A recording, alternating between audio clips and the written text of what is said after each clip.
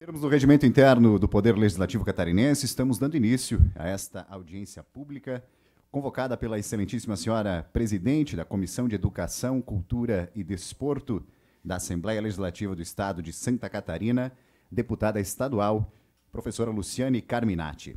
Esta audiência tem por objetivo debater o processo seletivo de contratação de professores admitidos em caráter temporário, os ACTs, para os anos de 2022 e 2023 na rede estadual de educação. Inicialmente, nós convidamos para compor a mesa de autoridades, excelentíssima senhora presidente da Comissão de Educação, Cultura e Desporto da Assembleia Legislativa, deputada Luciane Carminati. Deputada estadual, professora Luciane Carminati. Esta audiência tem por objetivo debater o processo seletivo de contratação. Convidamos também para compor o dispositivo de autoridades, excelentíssimo senhor promotor de justiça e coordenador do Centro de Apoio da Infância e Juventude do Ministério Público de Santa Catarina, doutor João Luiz de Carvalho Botega. Excelentíssima senhora presidente da Comissão de Educação, Cultura e Desporto da Assembleia Legislativa, Convidamos também o senhor coordenador estadual do Sindicato dos Trabalhadores em Educação na Rede Pública de Ensino do Estado de Santa Catarina, o SINT-SC, senhor Luiz Carlos Vieira.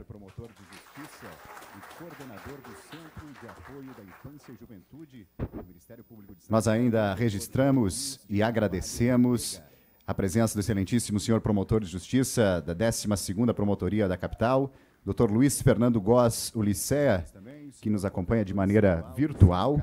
Obrigado. Também registramos a presença do senhor Gabriel Damasco, neste ato representando o secretário de Estado da Educação, Luiz Fernando Cardoso Vampiro, que nos acompanha também de maneira virtual. Registramos ainda a presença da senhora vereadora do município de Xanxerê, Kátia Colelo. Obrigado pela presença. Senhora vereadora do município de Santa Terezinha, Nathaniele Schroeder. Nosso muito obrigado. Também a senhora diretora da Secretaria de ACTs do SINT-SC, senhora Elivane Secchi acompanha também de maneira. Senhor diretor de comunicação social do SINT-SC, Cassiano Marafon, obrigado pela presença. Também do senhor diretor da Secretaria-Geral do SINT-SC, senhor Sandro Cifuentes. Nosso obrigado pela presença. Neste momento, nós convidamos, então, a excelentíssima senhora presidente da Comissão de Educação, Cultura e e Desporto aqui da Assembleia Legislativa para a abertura oficial e a presidência dos trabalhos desta audiência pública. Uma ótima audiência, uma boa tarde a todos. Obrigada ao cerimonialista pela chamada que nos fez agora. Muito obrigada. Boa tarde. Obrigado Boa tarde, todas as professoras, professores, trabalhadores da educação. Uma alegria muito grande educação, estar com vocês aqui. Boa tarde também a todas as coordenadorias regionais que representam o Sindicato dos Trabalhadores em Educação em cada região. Quero cumprimentar também o Luiz Carlos Vieira, coordenador estadual do Sindicato dos Trabalhadores em Educação Cumprimentar também, agradecer a presença do doutor é, João de Carvalho Botega, que representa é, a promotoria dos direitos da criança e do adolescente. Então, temos muito a ver com esse tema, né? E quero, da mesma forma, agradecer pela presença virtual da representação da Secretaria de Estado da Educação, em nome é, do Gabriel é, Gabriel Damasco, que representa o secretário de Estado da Educação, Luiz Fernando Cardoso Vampiro, e também agradecer a participação virtual do promotor de justiça da Vara da Moralidade da 12ª Promotoria da Capital, Dr. Luiz Fernando Góes Ulicea. Eu quero primeiro, antes de abrir essa audiência, é explicar como é que nós vamos proceder para que todas as pessoas que estão aqui presencialmente ou em casa acompanhando, e nós temos muita gente acompanhando pelo YouTube, é, pelo canal da TV AL, né, interagindo conosco, inclusive. Agradecer a presença de todos, mas é importante que todos saibamos como que vai ocorrer essa audiência pública. Antes disso, eu quero destacar que nós recebemos do Sindicato dos Trabalhadores em Educação, um ofício com data de 16 de fevereiro deste ano, onde eh, nos é solicitado, como presidente da Comissão de Educação, a realização desta audiência pública. E a partir disso, então, nós aprovamos com data de 7 de março agora e estamos neste momento, então, colocando essa audiência para iniciar. Então, nós vamos fazer da seguinte forma: é, eu faço abertura, vou fazer uma breve contextualização do problema, já passo a palavra para o Vieira fazer a sua fala de cinco minutos, também ao doutor Botega a fala de cinco minutos, depois ao Gabriel na sede, é, cinco minutos, e abro-se o doutor. Estou é, vendo agora aqui o doutor, doutor Luiz Fernando. Bem-vindo, doutor Luiz Fernando. Começamos agora. tá bom? Também vou abrir, se caso o senhor queira também se manifestar, pode ficar à vontade. Após essas falas, nós vamos abrir para as falas das regionais. Então, uh, essa sugestão nos chegou, né? não tem como a gente colocar 100 pessoas falando, até porque nós temos um limite regimental aqui na casa do número de falas.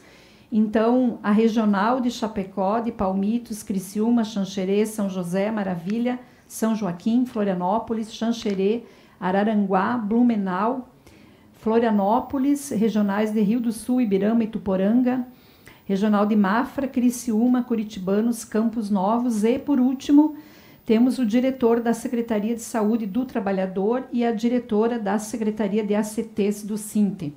Essas seriam as pessoas que estão escaladas para falar é, nesse tempo de três minutos. Então, nós vamos diminuir um pouco mais, porque no nosso cálculo, só nessas falas, nós já temos duas horas de audiência. Ok? Quero também é, destacar que todas as pessoas que estão uh, acompanhando esta audiência de forma virtual e fizerem comentários ali no chat ali do, da, da página, isso também será considerado o documento oficial, os próprios comentários, tá? Assim como as taquígrafas e os taqui, taquígrafos farão a ata desta audiência, que é um documento oficial, também os comentários nós vamos anexar à audiência. E ontem, doutor Botega, nós combinamos com o doutor Luiz Fernando que mandaríamos esse documento à promotoria da moralidade para que pudesse se debruçar sobre essa situação, além de todas as denúncias que já se encontram na promotoria. Bom, feito esse esclarecimento quanto à audiência, eu quero começar a minha fala destacando por que, que a gente está discutindo hoje a situação dos ACTs. Primeiro lugar, a gente precisa relembrar que nós temos um plano estadual de educação, que é oriundo de várias outras legislações, inclusive da Constituição Federal, da LDB e de outras uh, e outros dispositivos infraconstitucionais. Mas eu quero destacar algo que, para mim, aqui na Assembleia, desde o meu primeiro mandato, tem sido uma pauta constante. A gente nunca consegue vencer essa pauta, né? uma pauta permanente, que é o que está na meta 17 do Plano Estadual de Educação. Valorizar os profissionais do magistério da rede pública da educação básica, assegurando no prazo de dois anos a existência de plano de carreira assim como a sua reestruturação, que tem como referência o piso nacional, definido em lei federal nos termos do inciso 8 do artigo 206 da Constituição Federal, a fim de equiparar o rendimento médio dos demais profissionais com escolaridade equivalente até o final do sexto ano da vigência deste plano. Aqui está a legislação que nos orienta, mas mais especificamente os ACTs, nós temos na meta na estratégia 17.6 o seguinte enunciado aprovado em lei: assegurar a realização periódica de concurso público para provimento de vagas comprovadamente excedentes e permanentes de modo a estruturar a rede pública de educação básica com pelo menos 80% dos profissionais do magistério e 50% dos profissionais da educação não docentes que sejam ocupantes de cargos de provimento efetivo e que estejam em exercício nas redes escolares e que se encontram vinculados até o final do plano. Ou seja, até 2024, nós teremos que ter 80% de professores concursados nas redes de ensino. E aqui eu estou falando da rede estadual. Isso está muito distante. Nós temos um processo inverso. Virou regra ter professor ACT, virou regra esquecer o concurso público e virou regra a gente fragilizar e pauperizar a relação de contratação. Então, primeiro eu parto do que diz a lei, porque acredito que a lei já é o resultado de uma construção da sociedade de décadas e décadas e nós precisamos perseguir para que essa lei saia do papel. Segundo lugar, eu quero dizer que nos últimos anos, e aqui hoje nós vamos focar nos ACTs, então se algum efetivo está acompanhando e vai dizer a deputada está falando só dos ACTs, sim, mas hoje é os ACTs. Né? É para isso que a gente tem audiência. Nos últimos anos, os professores ACT só vêm perdendo direitos. Poderia resgatar aqui desde 2015. Né? Você tem um Estado que torna uma política normal, naturaliza a contratação temporária, a ponto de eu encontrar, doutor Botega, nas escolas, professores como encontrei a semana passada numa escola em Xanxerê, que me disse o seguinte, deputada, faz 21 anos que eu sou ACT. 21 anos que eu sou ACT. Então, uh, uh, qual é a perspectiva de futuro, de carreira, de vínculo desses profissionais com a sua comunidade, com os seus alunos, de interação, de integração? Se cada ano você está, nem sabe para onde você vai. Né? Então, a gente quer trazer essa situação aqui hoje para a audiência. Nesse período último da pandemia, eu também quero dizer que nós tivemos uma preocupação muito grande com esses profissionais. Né?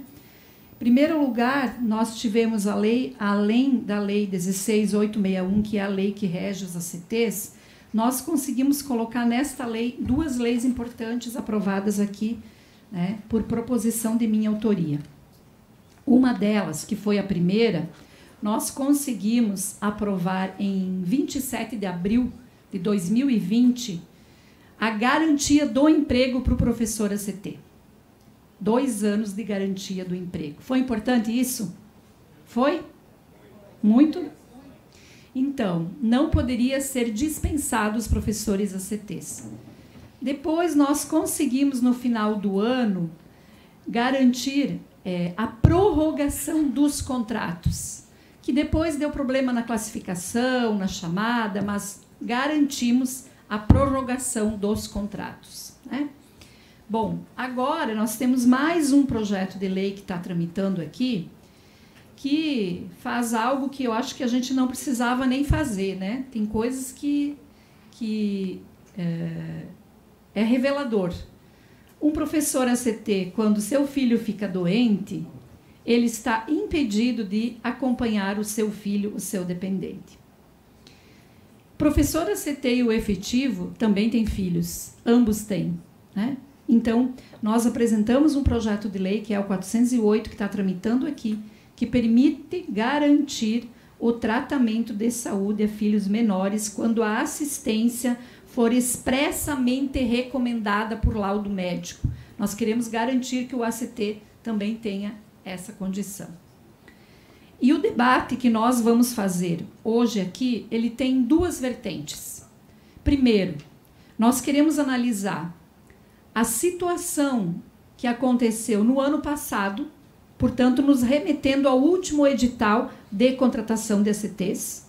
Nós poderíamos resgatar aqui o dia da prova, como foi a prova, né?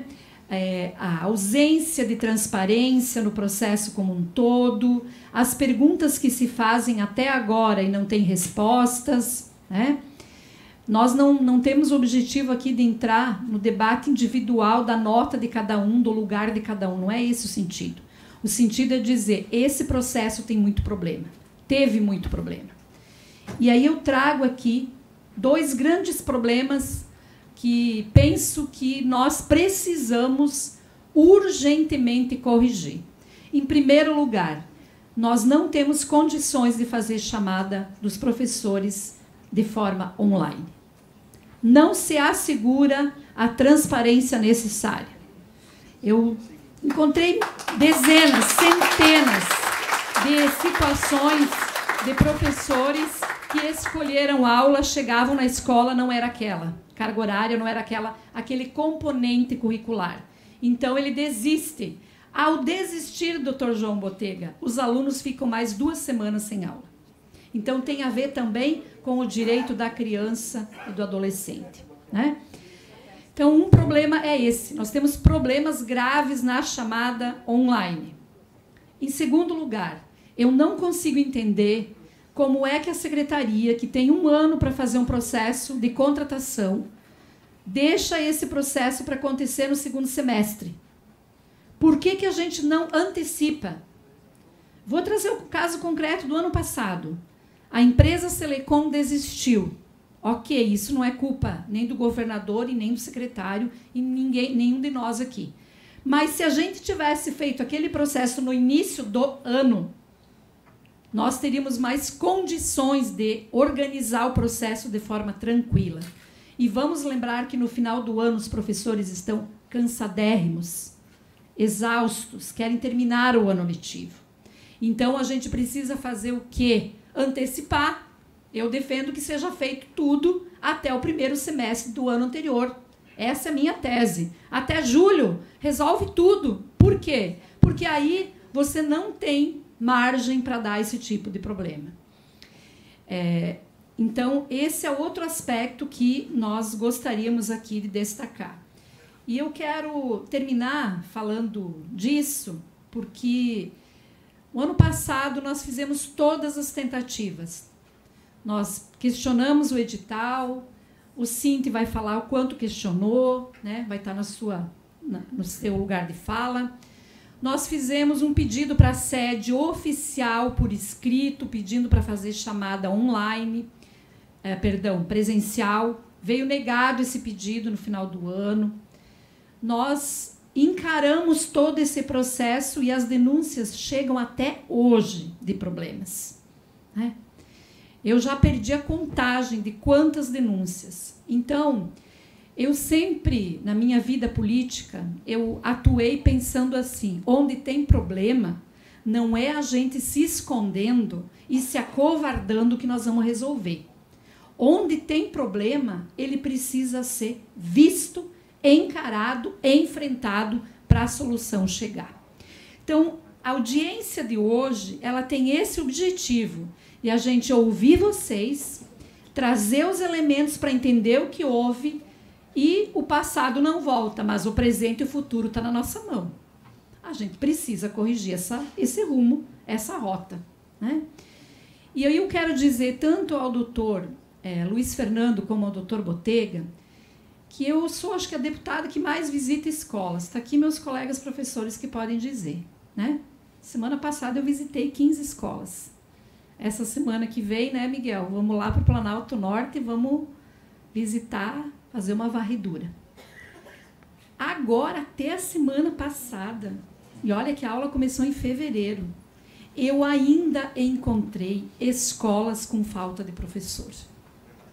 Então, a gente antecipar o processo das CTs significa também dizer o seguinte: nossos filhos, nossos alunos catarinenses da rede estadual, têm o direito de começar a aula todo mundo junto em fevereiro com o quadro completo.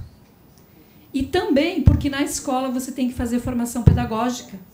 E tu faz formação pedagógica com 10% do quadro. E 90% vem duas semanas, três, quatro, cinco depois. Então não dá mais para a gente tolerar essa situação, ainda mais porque a gente tem condições de mudar essa situação. Então me desculpem que eu me estendi, mas é no, no intuito de também é, trazer esse contexto que é muito sério, muito preocupante e a gente precisa fazer com que ele se modifique. E na sequência, então, né, já agradecendo que vocês nos ouviram, né? E cumprimentar mais uma vez quem está na rede social. Eu quero chamar para falar o Luiz Carlos Vieira, coordenador estadual do Sindicato dos Trabalhadores em Educação na Rede Pública de Ensino do Estado de Santa Catarina. Cinco minutos, Vieira. Obrigado, deputado Luciano Carminati. É, gostaria de saudar aqui doutor João, doutor Luiz. É, ah, ah, tá funcionando, tá tranquilo. Saudar aqui o Gabriel, representante da Secretaria de Educação, e saudar aqui a todos e todas e todos os trabalhadores trabalhadoras de educação que nos acompanham, principalmente os trabalhadores temporários que nos acompanham aqui no plenário e também na rede social é, de forma online. Agradecer o espaço e não poderia deixar de agradecer aqui a deputada Luciana Carminati e a Comissão de Educação da Assembleia Legislativa por atender o pedido do sindicato, do SINTE, que buscou e busca sempre nessa comissão trazer as demandas dos trabalhadores que são levadas até o nosso sindicato, para que nós possamos também, através do parlamento, buscar solucionar os problemas que tem acolhido. Quero agradecer também ao Ministério Público, que sempre acolheu as nossas denúncias, e não vou enumerá-las aqui, porque penso que aqueles que farão uso da palavra também já vão colocar os elementos, e muitos deles já foram trazidos aqui pela deputada. Mas essa audiência pública ela é muito importante, não porque ela vai solucionar os problemas que já ocorreram no passado. Mas o intuito maior dessa audiência pública é não errar, doutor João. É não continuar no erro. E isso eu tenho debatido com a Secretaria de Educação. O Gabriel é testemunha que diariamente nós estamos consultando, buscando solucionar os problemas para que posteriormente isso não ocorra nós, do sindicato, fizemos várias tentativas de discussão com a Secretaria de Educação e apontando saídas para aquilo que nosso entendimento, advinda das demandas da nossa categoria, se apresentava e que não foi possível encontrar solução, mesmo antes com a empresa Selecom e posteriormente com a empresa que assumiu o processo seletivo. Porém, nós temos demandas que vão além do processo seletivo, que estão relacionadas com duas questões importantes. Uma questão aqui já levantada alguns elementos pela deputada é a lei 16861, que desde o princípio que ela foi aprovada nessa casa e aqui tem vários testemunhas que estavam naquelas, naquela luta, naquela greve nossa, que fomos contrários a vários pontos colocados aqui. E vários elementos que hoje são problemas que ocasionam na vida funcional dos nossos trabalhadores de educação, não foram solucionados lá e hoje continuam sendo ainda postergados. Então, portanto, a questão da saúde é um problema que está colocado aqui. Mais que isso, não tem isonomia aqui entre os trabalhadores. Por quê? Porque o trabalhador temporário ele tem direito a um dia de atestado. Já tem que apresentar e o efetivo 3. Eu penso que 3 é pouco, mas não podemos tratar de forma desigual os trabalhadores que têm a mesma responsabilidade, só, e gostaria aqui, que não precisa repetir, mas é bom que a gente fale, que todos somos trabalhadores, temos as mesmas responsabilidades, trabalhamos com o mesmo público. A mesma responsabilidade do, do professor efetivo é do temporário também, tem a mesma responsabilidade sobre a educação dos, dos catarinenses. E por isso devem não só receber salário igual, porque o trabalho é igual, mas ter também os mesmos direitos. E que, na nossa opinião e discussões que o sindicato vem fazendo, a lei 16861 não contempla. Então, portanto, é um elemento essa questão do atestado. Depois, nós temos a questão também da remuneração. A nossa luta, se o trabalhador temporário ele tem a sua formação de especialista, mestre ou doutor, ele também tem o direito de receber o mesmo salário, o mesmo valor do outro trabalhador que é efetivo e tem carreira. Porque em outros estados e municípios tem esse direito.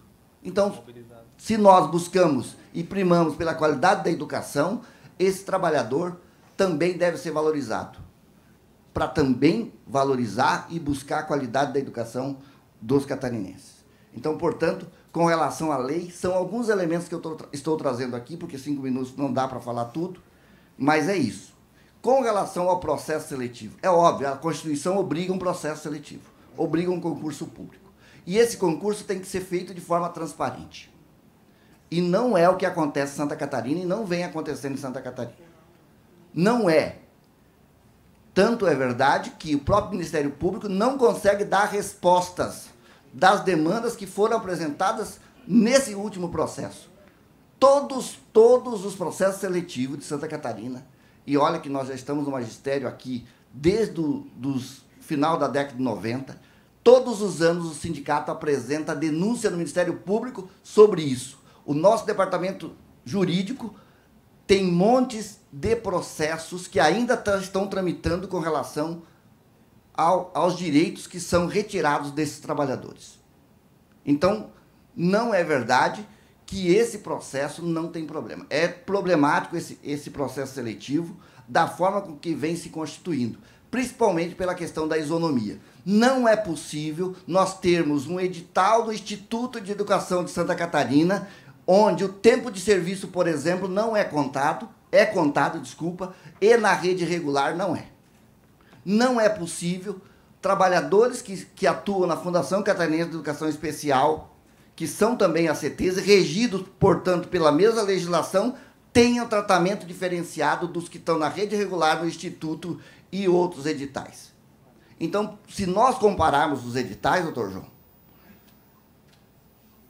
e doutor Luiz, nós percebemos que é imoral o que o Estado faz. E isso nós vemos reclamando sempre. Então, eu estou falando sobre o processo seletivo.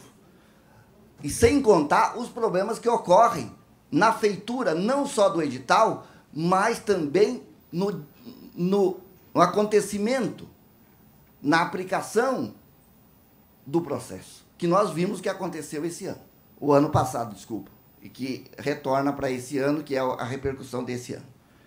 Então, se nós não tivermos, não apontarmos grupos de trabalho para que possam rever os editais e que possam ser realmente aceitos e, e nesse sentido buscar aí Óbvio que perfeição, e nós nunca teremos, sempre teremos alguma questão a deixar a desejar, mas buscar minimizar e mitigar todos os problemas, nós conseguiremos melhorar e muito o concurso. Por isso, essa é a meta, esse é o nosso pedido, que Assembleia Legislativa, Ministério Público, entidade que representa os trabalhadores, tem que participar desse debate e ser ouvido pela, pelo, pelo órgão gestor. Porque não adianta a gente reclamar e ir para o Ministério Público ou ir para o Judiciário e levar até dois, três anos, quatro anos para ter resultado de um processo que já encerrou. Então nós temos processos que já encerrou e que não resolve mais o problema. Por isso que nós, por isso que a primeira fala minha aqui é no sentido que nós temos que acertar daqui para frente, deputada. Outra outra discussão é a proposta de mudança. Nós precisamos trabalhar para mudar a lei do ACT. Então, quero voltar na questão da legislação, porque nós precisamos incluir essas questões que já tem proposição da deputada no PL 408, mas tem outras discussões que nós precisamos alterar. Uma delas, da qual eu coloquei aqui, e outros colegas poderão trazer. Nós precisamos também, além disso, para concluir a minha fala, dizer que nós estamos vencendo aí o Plano Nacional de Educação.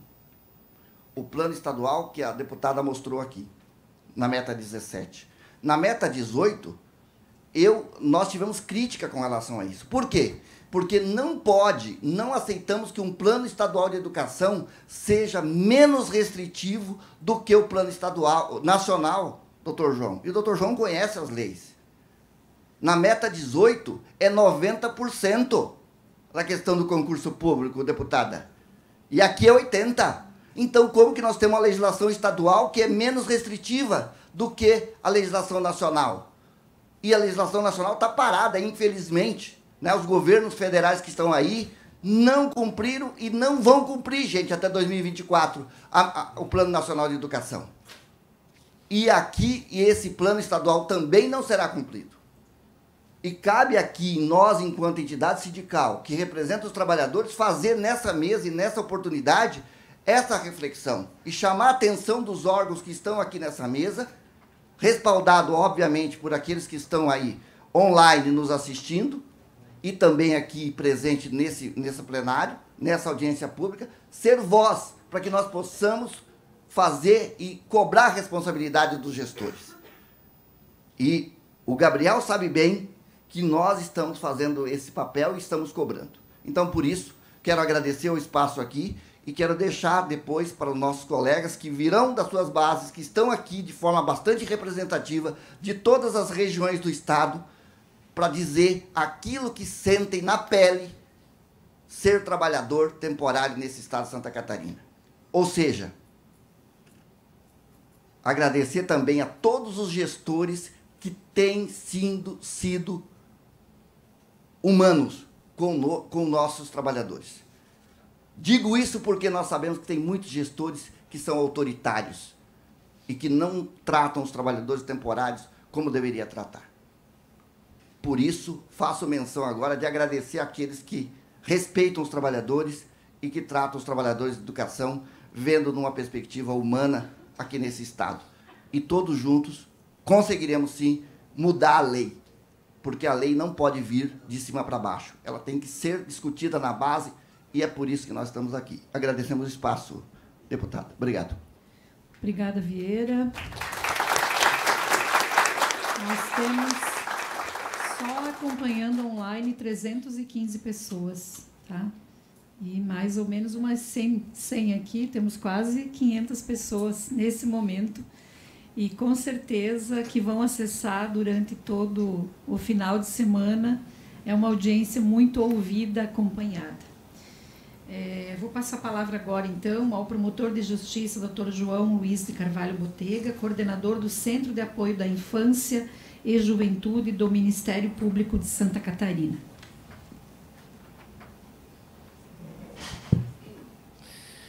Bom, é, boa, quase boa noite, né, já para todos e todas. É, eu queria inicialmente é, agradecer a deputada Luciane é, pelo convite e pela iniciativa de promover essa audiência pública tão importante para debater os rumos da educação catarinense e, sem dúvida, não podemos debater educação sem debater o magistério, sem debater, obviamente, também a situação dos nossos professores temporários. Né?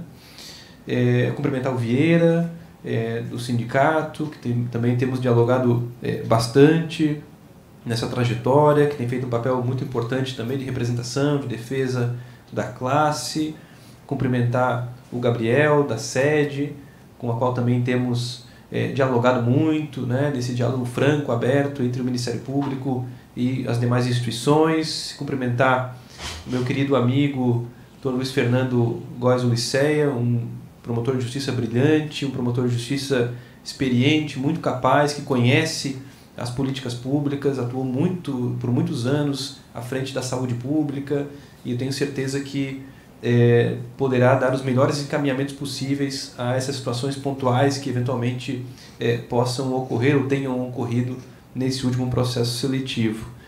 Eu queria cumprimentar, por fim, a todos que nos assistem, né, todos e todas, em especial aos nossos professores e aos professores é, temporários é, fazer um, um, registro especial né, do esforço e do reconhecimento do Ministério Público, do esforço dos professores, da dedicação dos nossos professores em todos os tempos, mas em especial nos últimos dois anos, que enfrentamos esses desafios enormes para a educação mundial e brasileira, e Santa Catarina, é, pelo esforço conjunto das instituições e pelo, pela dedicação é, é, e pelo brilho dos nossos professores, nossos gestores, conseguiu entregar um dos melhores processos aí de educação durante esse período da pandemia, seja no atendimento remoto, seja no retorno híbrido e agora com o nosso retorno é, 100% presencial, de forma coordenada, de forma articulada, de forma a garantir, na medida do possível, o melhor e a, maior, a segurança para todos e todas. Queria dizer, deputada, que eu estou aqui é, muito mais para escutar do que para do que para falar, né? Eu tenho participado de muitas audiências públicas. Hoje é a segunda, só hoje é a segunda audiência pública. E, e, e, penso que é importante a gente exercer aquele dom que Rubem Alves nos ensinou, o dom da escutatória, porque nós fazemos audiências públicas e todo mundo fala, mas ninguém escuta, né? E, e, e acredito que as audiências é, são um momento fundamental, e o nome já diz audiência, né? Para que a gente possa realmente ouvir, sentir o que está surgindo da base, das necessidades, da realidade concreta, do chão de fábrica, de quem está lá na linha de frente para que a gente possa direcionar as atuações, as intervenções, as estratégias das instituições é, na melhoria né, das políticas públicas, na melhoria da, dos serviços que são prestados aos cidadãos e, em especial, nesse caso, para as nossas crianças e adolescentes. É, é, muito rapidamente, assim, né, eu queria é, iniciar dizendo que é, a deputada Carminati já tirou das, as palavras da minha boca, porque eu ia começar falando justamente dessa questão de fundo, que é o descumprimento crônico do Plano Nacional de Educação, e não me refiro apenas ao Estado de Santa Catarina, estou me referindo a, a, a nível de Brasil, é, todos os demais estados da federação é, e também os nossos municípios, não obstante esforços que são reconhecidos de muitos gestores que estão buscando é, o cumprimento dos seus planos de educação.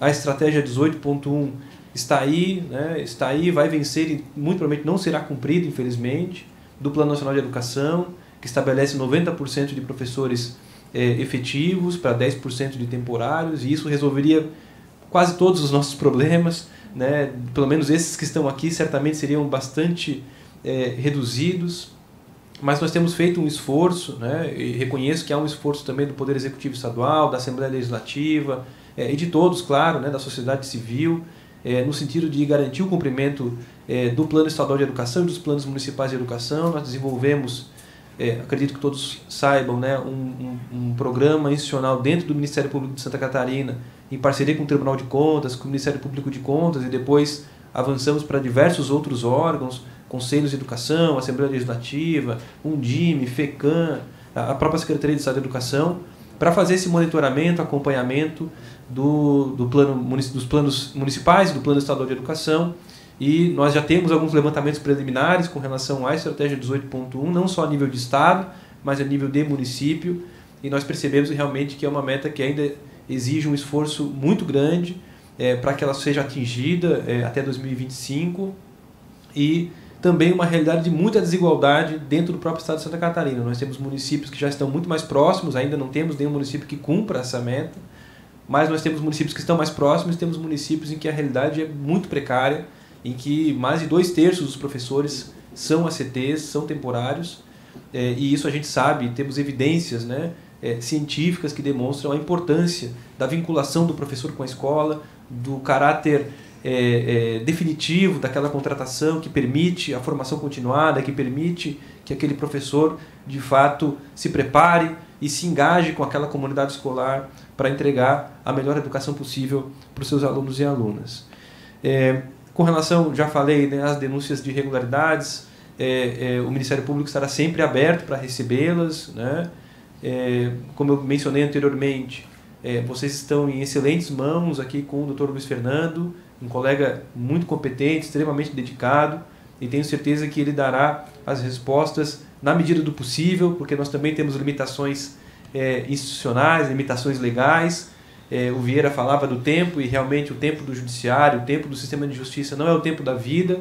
Né? Nem sempre nós conseguimos dar as respostas no tempo é, em que as pessoas desejam, porque nós precisamos de fato é, aprofundar as investigações, avaliar o, que, né, o cenário e o contexto, para levar uma demanda também, se eventualmente for levada ao judiciário, que seja uma demanda é, é, com que a gente possa depois receber uma decisão é, favorável, porque nada pior do que procurar o judiciário e você perder a ação e aí você não só é, desperdiçou o seu tempo, como você tem uma decisão contrária ao seu pedido é, é, e legitima, inclusive, a atuação de forma distinta daqueles órgãos que nós pedíamos a correção dos rumos. Né?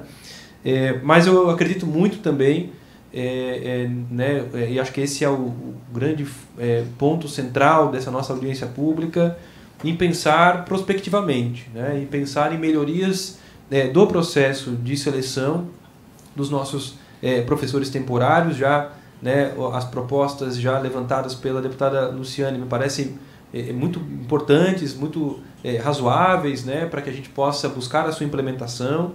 Eu acredito muito né, nas melhorias incrementais em políticas públicas, Ninguém precisa reinventar a roda, ninguém precisa começar do zero. Vamos buscar o que, que a gente acertou, o que, que a gente errou, vamos buscar boas práticas de outros estados e trazer aqui para Santa Catarina para que a gente erre menos. Né? Acertar 100% nunca vamos conseguir, ainda mais em temas tão complexos quanto a educação. Mas a gente vai tentar errar o menos possível. Né? E, e para isso o Ministério Público também está à, à inteira disposição, né? não só é, o Centro de Apoio da Infância e Juventude que eu coordeno, mas também as demais promotorias de justiça. Né? A, a promotoria do Dr. Luiz Fernando lida mais com a questão da moralidade administrativa. Nós temos uma promotoria específica da área da educação que também é, pode atuar nesse cenário né, de olhar para frente, de olhar é, em, em, em, perspectiva para esse tempo. Lembrando, novamente, que nós temos limitações, né, é, porque eu, e, e até acho bom que as pessoas confiem e acreditem no Ministério Público, que bom que as pessoas acreditam, mas nem sempre a gente consegue por limitações legais, o Ministério Público não faz leis, o Ministério Público não decide, né? O Ministério Público pode recomendar, pode articular, pode buscar, pode ajuizar algumas ações, mas nem sempre compete ao Ministério Público algumas decisões que são ou discricionárias do gestor do Poder Executivo, ou dependem de uma decisão judicial, ou da aprovação de uma lei é, na Assembleia. Mas, independentemente disso, mesmo ciente dessas nossas limitações, é, eu, é, eu, posso é, afiançar para todos e todas que o Ministério Público é, com certeza estará atuando na linha de frente para garantir que essas melhorias que forem necessárias, né, no diálogo com a Secretaria de Educação, no diálogo com o sindicato, no diálogo com a Assembleia, sejam é, implementadas, se possível, aí, o quanto antes, para que nos próximos processos, já no próximo processo, a gente não tenha que enfrentar esses mesmos problemas, sejam esses problemas históricos que já se repetem há muitos anos, sejam problemas pontuais que tenham surgido nesse último processo. Né? É, e, e, claro, né, vamos fazer, de, é, é, é fazer isso num processo de construção coletiva. Né? Ninguém, é, acredito que é o dono, o senhor da razão. Eu acho que a gente tem realmente que ouvir todos e todas, construir coletivamente essas soluções e avançar nesse relacionamento que felizmente nós temos aqui em Santa Catarina, acho que é um grande diferencial do nosso estado. Claro que temos discordâncias e isso é natural, né, do processo democrático, mas nós conseguimos manter uma relação extremamente cordial, de muita proximidade, de muita articulação, seja com o legislativo, seja com o executivo, com o Tribunal de Contas, é, com os demais órgãos e poderes do Estado. E acho que isso tem permitido é, uma atuação muito é, coordenada, né, uma atuação muito efetiva das instituições e tenho certeza que isso tem sido é, sentido, né, o impacto na vida dos nossos é, cidadãos catarinenses. Então, eu falei da disputatória e falei demais para variar, né, mas eu queria agradecer novamente o convite, colocar o Ministério Público à inteira disposição de todos e todas, né, e vamos juntos construir essa sociedade mais livre, mais justa, mais solidária, que a nossa Constituição determina, no seu artigo 3 e isso só se dá por meio da educação e não se faz educação sem professor valorizado, sem professor é, com garantia de ter uma escola, de ter a sua aula, né, de ter uma boa remuneração, de ter a sua valorização é, profissional que a nossa Constituição e as nossas leis é, determinam e exigem. Obrigado e fico à disposição para o debate. Obrigado, doutor. Obrigado, doutor Botega. Oi, oi. Oi. Obrigada, doutor Botega. Eu passo agora a palavra ao Gabriel Damasco, que está neste ato representando o secretário de Estado da Educação, Luiz Fernando Cardoso Vampiro. Gabriel está virtual. Estão vendo? Pedir para o pessoal desligar aqui a luz, que eu acho que facilita. Boa tarde a todos. Tá? Queria primeiramente agradecer à deputada Luciane pelo convite, pela oportunidade que a gente está tendo de, de conversar, debater. Agradecer a presença de todos, do Vieira, com quem a gente tem bastante contato, conversa bastante. Doutor João, doutor Luiz, obrigado por estarem presentes. E gostaria de primeiro analisar, é, né, debater sobre alguns pontos que foram levantados, né, primeiramente sobre o processo seletivo em si, que a gente sabe realmente que a gente teve um processo que infelizmente foi um processo atípico, que a gente teve né, uma empresa que vencedora de um processo licitatório, que por alguns motivos teve que ter o seu contrato rescindido, então a gente teve atraso, a gente teve problemas sim, a gente tem total consciência disso. Foi um processo que a gente começou ele em março de 2021, era um processo que era para ser concluído antes, mas devido a todos esses problemas, sofreu atrasos. Tivemos problema na troca da empresa, quando entrou outra empresa, na, na transferência de banco de dados, todos os problemas que a gente teve que é, é, correr atrás dessa solução e nem sempre a gente realmente conseguiu fazer no tempo que a gente desejava. Então, foi um processo que, inicialmente, a gente previa 45 mil candidatos, que era a, a marca histórica de candidatos, a gente teve, sempre teve em torno de 40 mil candidatos, tivemos, no final, 75 mil candidatos. Então, isso tomou uma proporção maior do que a gente realmente estava esperando. E claro que isso não justifica, mas isso acaba tornando um processo um pouco mais complicado, então é, é, e a gente sabe que teve e diante de todas essas dificuldades a gente procurou o tempo todo corrigir, ajustar o processo. Com a chegada da nova empresa, abrimos todos os períodos né, é, novos que a gente podia abrir, que a gente ainda tinha condições né, de fazer para os candidatos se adaptarem a essa nova realidade. E a gente teve que realmente fazer é, de uma maneira que não foi planejada inicialmente, mas a gente procurou é, realmente fazer da melhor maneira possível. Tivemos alguns problemas pontuais de, da execução, da execução da prova, isso a gente também tem consciência, mas assim que foram de, é, identificados, foi, foi procurado corrigir todos esses problemas. Então, foi uma situação que realmente a gente entende como sendo atípica, que não era para ser dessa maneira. Certamente, para os próximos, a gente vai tentar minimizar essas possibilidades, e sempre procurando melhorar. Então, realmente, em se tratando de processo seletivo, a gente teve esses problemas que a gente teve que ir se adaptando no decorrer e tentou fazer da melhor maneira possível. Tá? Ainda estamos ajustando é, problemas que tivemos, né, algumas coisas de classificação. A gente sempre que é identificado problema a gente prontamente corrige. Então, é, são realmente é uma questão que não era o planejado. Quanto a outro ponto que foi levantado, que é o nosso sistema de chamada, que é um sistema que a gente foi, a gente criou esse sistema, que já era um anseio antigo de uma grande parte dos candidatos, claro que talvez não todos, é, já era um anseio antigo, inclusive do próprio sindicato, a gente já tinha conversado sobre isso, antes era, a gente chegava a ser desumano o candidato ter que ficar um dia inteiro. Muitos chegavam às 8 da manhã, ficavam esperando até meia-noite, uma hora, duas horas da manhã, em ginásios lotados, sem é, insalubres, sem a ventilação adequada, muitas vezes sem uma água para tomar, tem que esperar o dia inteiro para ser chamado. Pela época do ano em que era realizada a chamada, muitas vezes é, era um calor, né, sem ventilação adequada, Muitos tinham que se deslocar 100, 150 quilômetros para poder participar presencialmente dessa chamada. Então, é, em regionais maiores era complicado para quem era não era tão centralizado. Então, isso já era um anseio antigo. Então, a gente realmente procurou fazer um sistema onde o candidato pudesse acessar da sua casa, do seu celular, para fazer essa escolha de vagas.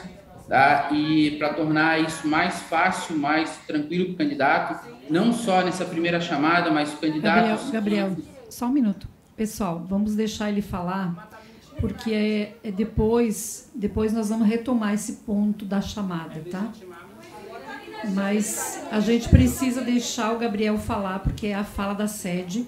Depois nós teremos quase 20 falas das regionais e as falas podem se colocar em relação a esse ponto. Você viu, Gabriel, que não tem acordo aqui nessa leitura, tá? E agora eu, eu, eu devolvo a palavra para ti, para tu continuar a tua fala, tá bom? Pessoal, pessoal, vamos deixar o Gabriel falar, depois a gente retoma, ok? Então, temos, durante o decorrer de todo o ano letivo, em que são realizadas chamadas quase que diariamente, candidatos que teriam de se deslocar todos esse, esse longos trajetos para poder se fazer presente. Hoje em dia isso não é necessário. A gente sabe que também é um sistema novo, um sistema que ele está em constante monitoramento, constante aperfeiçoamento. Tudo que a gente, eh, a gente recebe de sugestão para melhoria, a gente procura analisar para implantar tudo que a gente identifica de erros, por isso que as primeiras chamadas elas são chamadas que têm um período um pouco maior. A gente faz as, as chamadas, a gente analisa todas as etapas, buscando erros para a gente corrigir antes de ser divulgado o resultado. Então, é um sistema, sim, que é um sistema novo, um sistema inovador e ele está sendo constantemente monitorado e a gente está procurando aperfeiçoar, sim, então, é, e é um sistema que ele está todo parametrizado conforme as regras de edital e conforme as regras da legislação. Então, a gente tem né, todo ele parametrizado conforme a legislação vigente e todos os casos até agora que chegaram ao nosso conhecimento em que candidatos questionavam, mas a gente conseguiu identificar o que, que aconteceu, qual foi o problema e passar as respostas para todos os que chegaram para a gente. Claro que nem todos os casos chegam para a gente, mas tudo que chegou a gente conseguiu analisar e, quando foi necessário, corrigimos.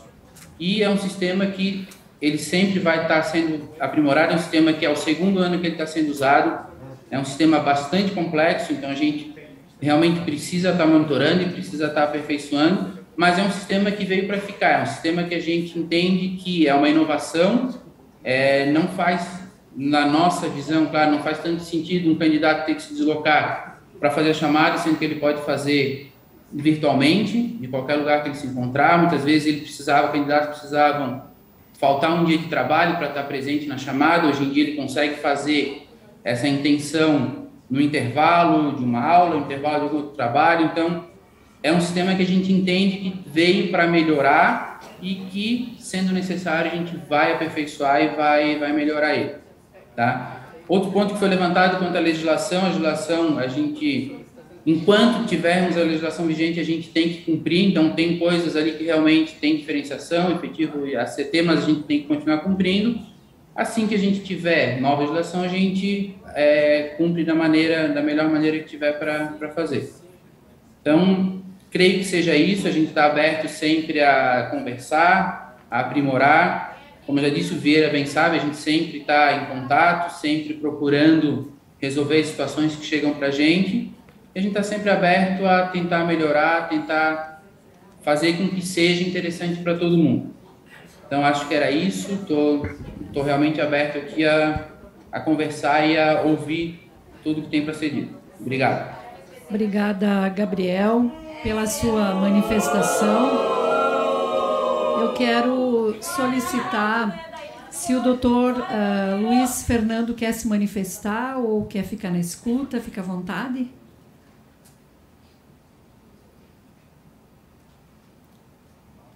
Tá desligado, doutor. Seu microfone. Opa, Agora, estão me ouvindo? Sim, então, sim. Então, então, de repente, eu vou, diante do que foi mencionado, fazer apenas uma pequena consideração, até a título de de prestação de contas, vamos dizer assim, em razão do, do que tem na promotoria e um pouquinho da atuação da promotoria. Inicialmente, eu quero agradecer o convite à deputada Luciana Carminati. Ontem eu tive o prazer de recebê-la e conhecê-la pessoalmente. Quero, confesso que foi uma tarde muito gostosa conversar com a senhora, foi bem proveitoso. É, então, quero agradecer o convite. Também quero cumprimentar o, o meu amigo e colega João Luiz de Carvalho Botega, coordenador do Centro de Apoio Operacional da Criança e Adolescente, que é um prazer dividir esse momento também com o João Botega, que vem também desempenhando um excelente trabalho à frente do Centro de Apoio do Ministério Público. Estou conhecendo aqui também o senhor Luiz Carlos Vieira, do sindicato, é um prazer, e quero desde já dizer que também estou à disposição né, e sempre com as portas abertas da promotoria de justiça. E estou também conhecendo aqui o Gabriel Damasco, né, representante da Secretaria de Estado de Educação, né, um prazer conhecê-lo. É, a todos e todas que participam desse, dessa audiência pública, boa noite. É, é só para contextualizar dois fatos. O primeiro, especificamente, com relação. Inicialmente, quero dizer que estou à frente da promotoria, vai completar agora um mês, a promotoria da moralidade, que trata especificamente de concursos públicos. Né? É, eu quero mencionar com relação ao episódio que envolve é, esse último concurso, esse último processo seletivo, né? É, inúmeras é, denúncias chegaram à promotoria de justiça é, de vários cantos do estado, né? umas encaminhadas diretamente pelo candidato que participou do, do, certame e outras de candidatos que procuraram o Ministério Público nas promotorias em outras comarcas que encaminharam para a promotoria, 12ª promotoria da capital. Então, aqui a gente está instruindo esse procedimento. É, de fato, a gente vislumbra ah, indicativos de irregularidades, né? inclusive de vídeos, de, foi produzido por celular dentro do, de sala de aula. É, é, algo que, confesso que espantou, né? É, e é, um, é, uma situação bem delicada, como eu falei para a deputada, nós estamos com um avião no ar e trocar essa é, tripulação durante o voo não é um processo simples. Mas nós estamos analisando, inclusive nós solicitamos mais informações à Secretaria de Estado de Educação, que acredito até o final desta semana, ou mais tardar no início da próxima, nós teremos as informações que nós solicitamos. Então, é, nós estamos lidando com esse tema, né, e ciente do que aconteceu, mas também a gente tem ciência de que nós passamos por um processo de pandemia com a dificuldade de aulas, então a gente tem que ter também tem que analisar com temperamentos essa, essa situação que se que, que está aí apresentada. Ela não é tão simples assim. Mas, é, então, eu queria dizer a todos que é, nós estamos trabalhando nisso e, inclusive, para dar uma resposta o mais célere é, possível, né? É, porque essa situação, ela de fato, a, a, a sociedade ela merece uma resposta, né? Ela merece saber o encaminhamento a ser adotado. Mas eu vejo de outra maneira, assim, sobretudo diante do que foi dito até agora, a possibilidade que nós temos de aperfeiçoar o sistema existente. Né? Até eu falei para a deputada Luciane, porque não adianta daqui a um ano estar se discutindo as mesmas coisas. Então, eu, eu acredito que o exemplo que nós temos agora neste procedimento em andamento, né, um exemplo é, não muito positivo, eu acho que a gente pode tirar lições com o objetivo de aperfeiçoar, seja no que diz respeito ao processo seletivo e também nesse processo de inscrições, enfim, eu acho que há muito se avançar e pelo que a gente vê pelas falas, seja da, do executivo estadual, né, principalmente, há essa disposição, né? Então, é, eu acredito que o exemplo, o, material que está chegando até nós por conta desse processo seletivo, em especial, é hoje aqui eu até é, é, conversei com a deputada, eu disse que eu queria esse material também que fosse encaminhado, né, o resultado dessa audiência pública promotoria, que a gente, é, para a gente é, extrair o que, que a gente pode fazer de positivo daqui para frente, para que no próximo ano a gente tem, venha discutir a educação, mas para tratar de outros temas. Né? É, eu, com relação a essa questão de é, professor temporário, eu, particularmente sou da opinião que o, promo, o professor ele tem que gerar um, uma, um vínculo com o estabelecimento de ensino ao qual ele pertence, né? Então, a, a, é, eu penso que a gente não pode caminhar com o objetivo de priorizar, a esse é um posicionamento meu, de que o, o, o temporário ele seja a regra do jogo. Não, eu acho que a gente, eu lembro de quando da minha adolescência a gente conversava com os mais velhos, e eles falavam dos professores do ano seguinte, como era a postura do ano seguinte. E se a gente manter ou avançar nesse modelo de temporário, eu acho que não, a gente não vai ter esse vínculo né, do professor com, a, com o estabelecimento de educação e o aluno não vai se identificar também com a escola. Eu acho que isso é fundamental. É, mas eu sou promotor da moralidade. É, mas preocupado com isso, deputada, eu hoje já falei rapidamente com o promotor da, da educação, doutor Marcelo, e mencionei a ele a nossa conversa é, inclusive disse que hoje teria essa audiência, né? Ele infelizmente ele não poderia estar presente, até porque ele também não tinha conhecimento, assumiu outros compromissos. Mas é, eu fiquei de a gente sentar justamente para ter uma discussão em que o, porque o, seguramente a atitude do promotor da moralidade ela vai gerar reflexo no campo da educação. Então isso não dá para se discutir de forma isolada, né? Então a gente é, está, vai avançar nessa discussão para que esse diálogo, no que diz respeito ao processo seletivo, atenda né, o plano estadual de educação. Então, então é, a gente objetiva conversar, né, inclusive em outro momento, com a comissão de educação, com a, principalmente com a Secretaria de Estado de Educação, com o objetivo de avançar nesse processo, para que um certame como o que ocorreu recentemente, ele não ocorra, não, não não tenhamos as reclamações, esse volume de reclamações que chegaram na promotoria, e também para que o processo seguinte, até de escolha de vaga, tudo seja algo é, que não crie um pânico ou uma atenção né, àquele profissional que almeja ingressar, é, lecionar em sala de aula. Né? Então, a, a promotoria, assim, a gente está se debruçando nisso, tanto repito, no campo da moralidade, como também irei discutir conjuntamente com, com o promotor da educação, porque isso tem que caminhar conjuntamente. Então, é, esse material produzido hoje na, audiência pública, assim, a gente faz questão de que esse, todo esse material também seja encaminhado à promotoria, para que a gente, é que é importante, né, o aperfeiçoamento, a necessidade, como falou o João, a gente tem que ouvir a todos, né? Todos têm muito a contribuir, né? Ninguém é dono da verdade. Então, é, a promotoria, o Ministério Público, a gente vai também estar aqui de portas abertas e disposto a contribuir nesse processo, nesse aperfeiçoamento. Então, mais uma vez, eu agradeço o convite e fico à disposição. Obrigado.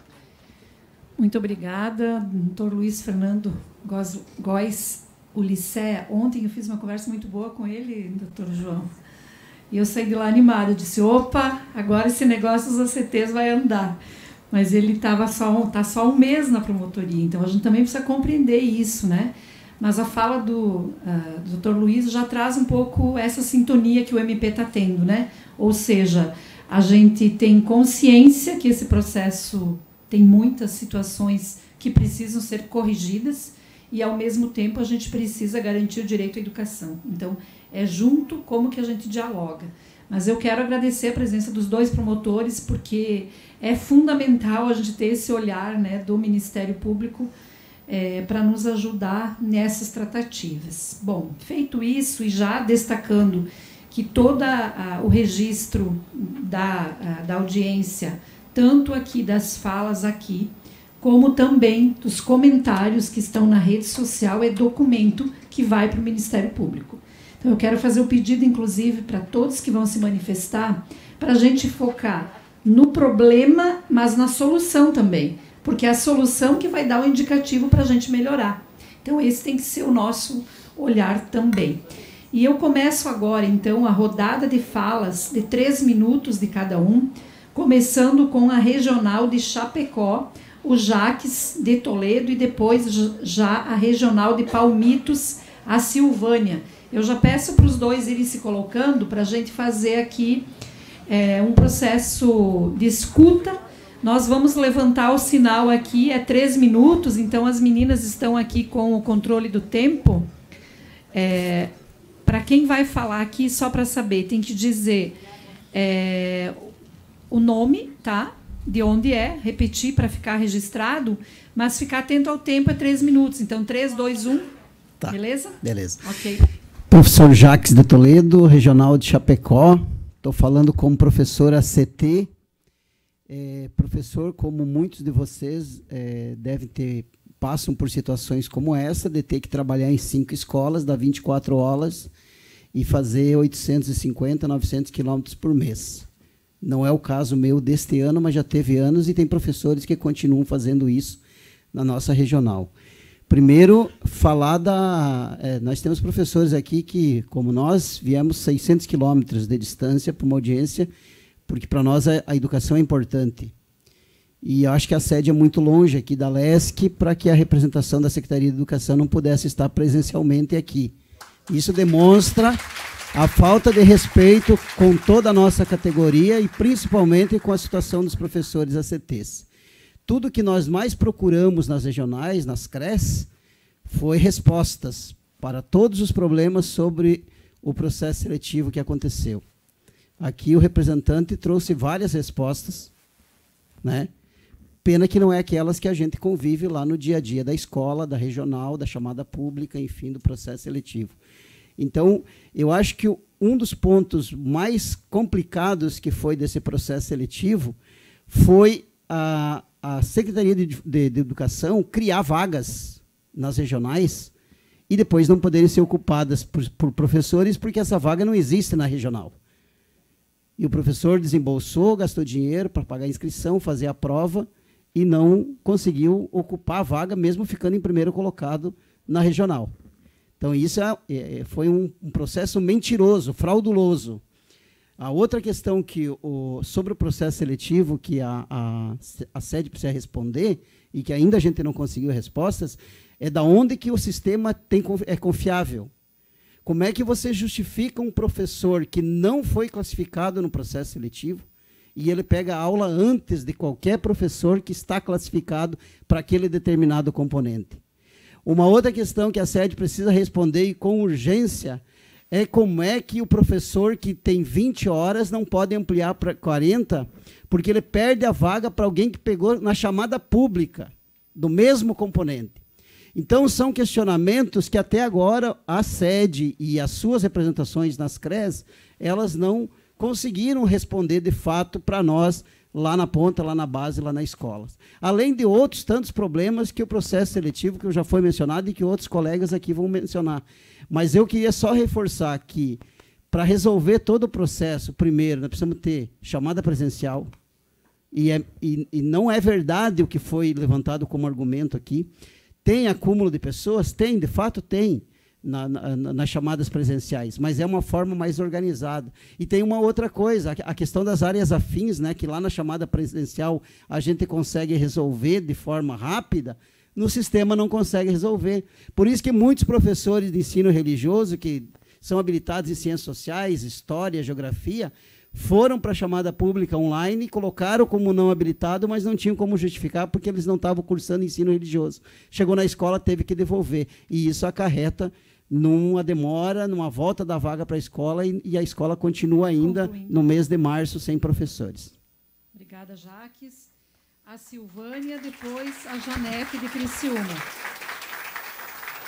Então, eu me chamo Silvânia, estou aqui representando a Regional de Palmitos e atuo como professora ACT na cidade de Mondaí, na escola que fica no Catres, no interior.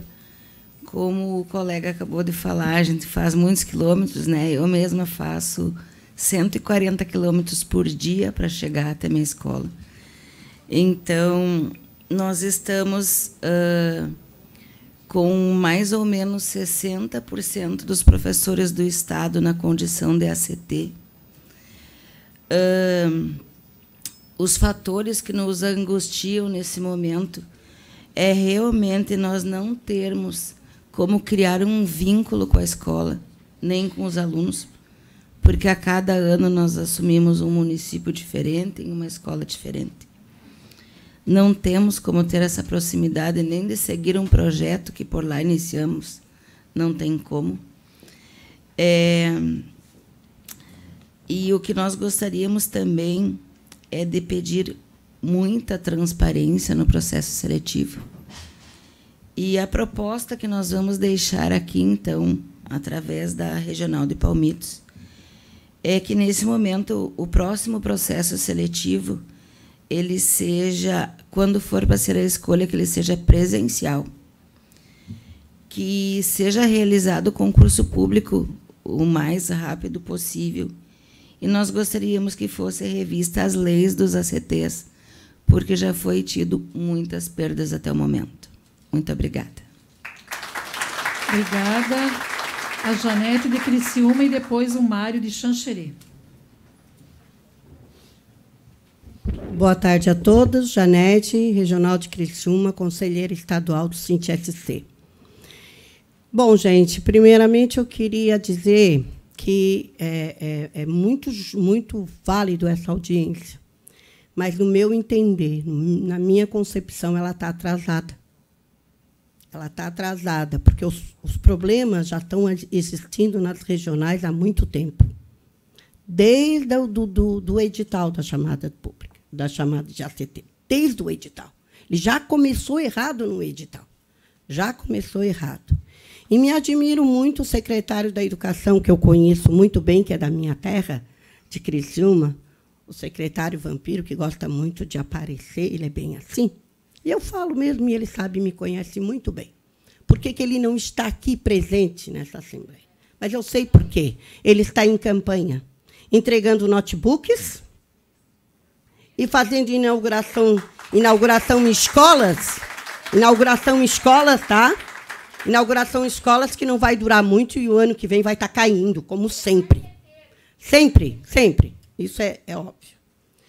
E eu queria dizer, tá? a questão das, das escolhas presenciais. Quando o, o, o, eu não conheço, é Gabriel da sede, fala de que ah, essa, essa escolha online está facilitando a vida dos ACTs, porque é desumano que acontece muita gente. Isso não é problema do ACT, não é problema nosso, é problema da sede. Ele que resolva. Ele que dê condições para o ACT ter uma escolha digna num lugar bom não vem aqui contar historinha para nós aqui, porque nós já somos calejados nas escolhas. Eu sou calejado, eu vou todas as escolhas. E eu quero dizer para vocês que está aqui que Criciúma também tinha uma escolha bem ruim, muito ruim. E que nós fomos, através do Cinti Regional de Criciúma, galgando melhores lugares. Hoje, nas últimas escolhas, foi em um lugar bem bom. O professor ACT que estava aqui não foi das melhores, mas pelo menos era um lugar digno que era na SIC. Não é verdade? Eu aqui, então, tem como fazer uma escolha boa, sim, falando aqui para o secretário. Tá? E aí, falar dessa desculpa é querer mexer com a minha inteligência, né, gente? Vamos combinar aqui que a coisa está feia. Muito feia. Tá? Os ACTs estão aqui, as falas aqui tá claras. E eu me lembro muito bem, porque eu sou uma pessoa, é, vamos dizer, com uma certa idade avançada, que na, eu já fui ACT, já passei por tudo isso que vocês passaram. Mas tinha uma coisa que nós tínhamos, e o promotor falou ali muito bem, que nós tínhamos, na época que era, é, eu era ACT, nós ficávamos na vaga enquanto um professor efetivo não assumisse a vaga. Então, um professor ACT poderia ficar dois, três, quatro anos numa vaga.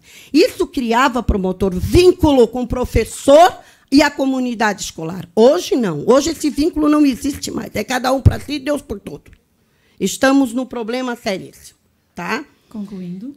Eu queria dizer que a nossa, a nossa, a minha proposta aqui, deputada, a minha proposta aqui para melhorar tudo isso é que os governos que vieram, se antecederam a esse e esses que estão, né, que eles olhem para a educação como se deve. Por quê?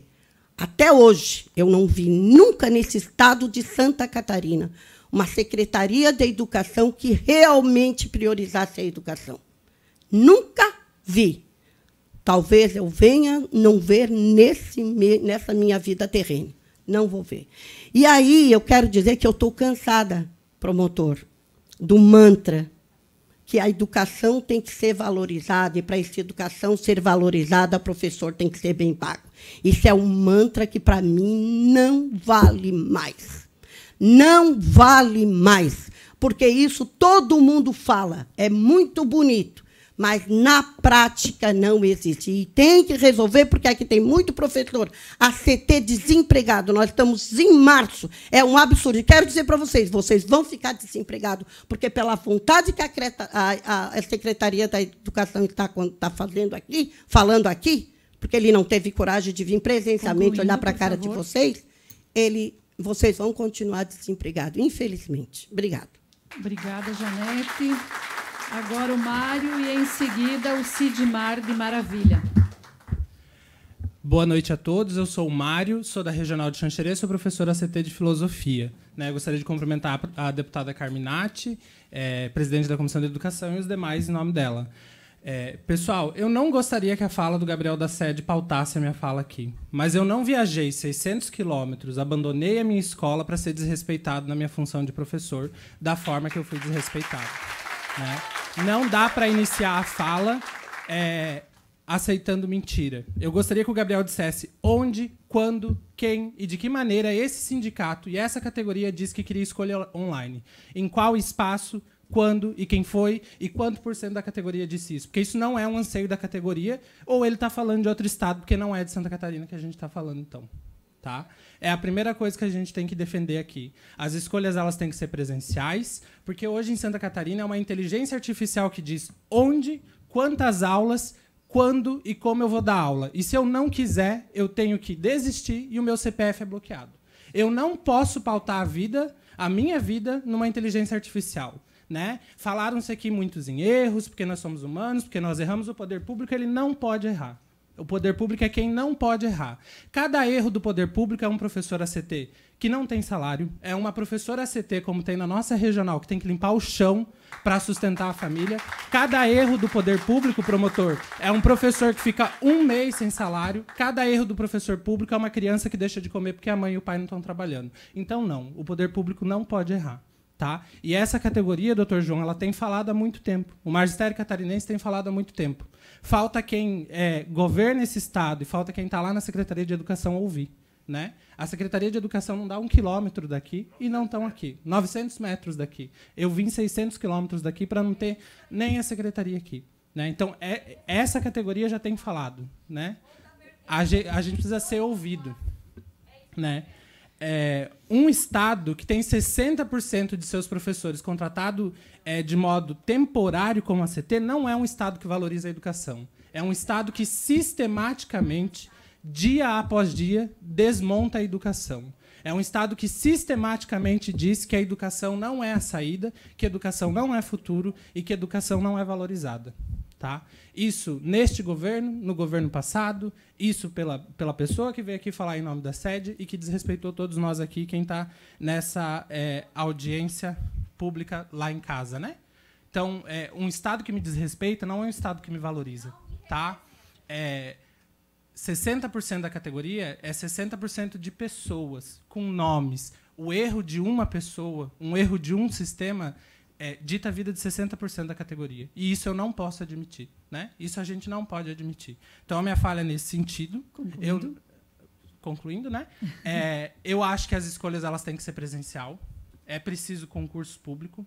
A gente não pode admitir que 60% dos professores desse estado ainda sejam ACTs. Né? E a gente precisa rever, só para concluir, é, a, a nossa lei de ACTs. E a gente precisa rever, porque hoje uma mãe professora não pode tirar licença para acompanhar o seu filho com doença. A gente teve um caso na regional, depois o Gia vai falar no tempo dele que já acabou o meu, de uma mãe que foi mandada embora no dia que teve que enterrar o seu filho, né? No dia que o filho estava doente, no dia que a filha estava doente, né? Então era essa a minha fala. Muito obrigado. Obrigada, Mário. Sidmar é, de Maravilha e depois o Tiago de São Joaquim.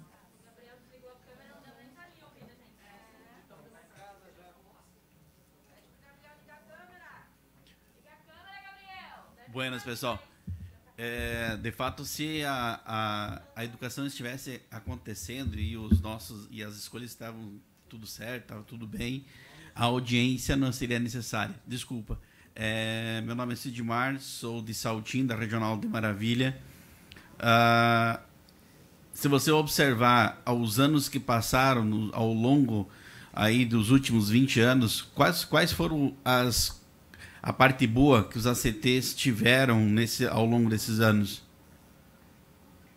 Tem alguma memória?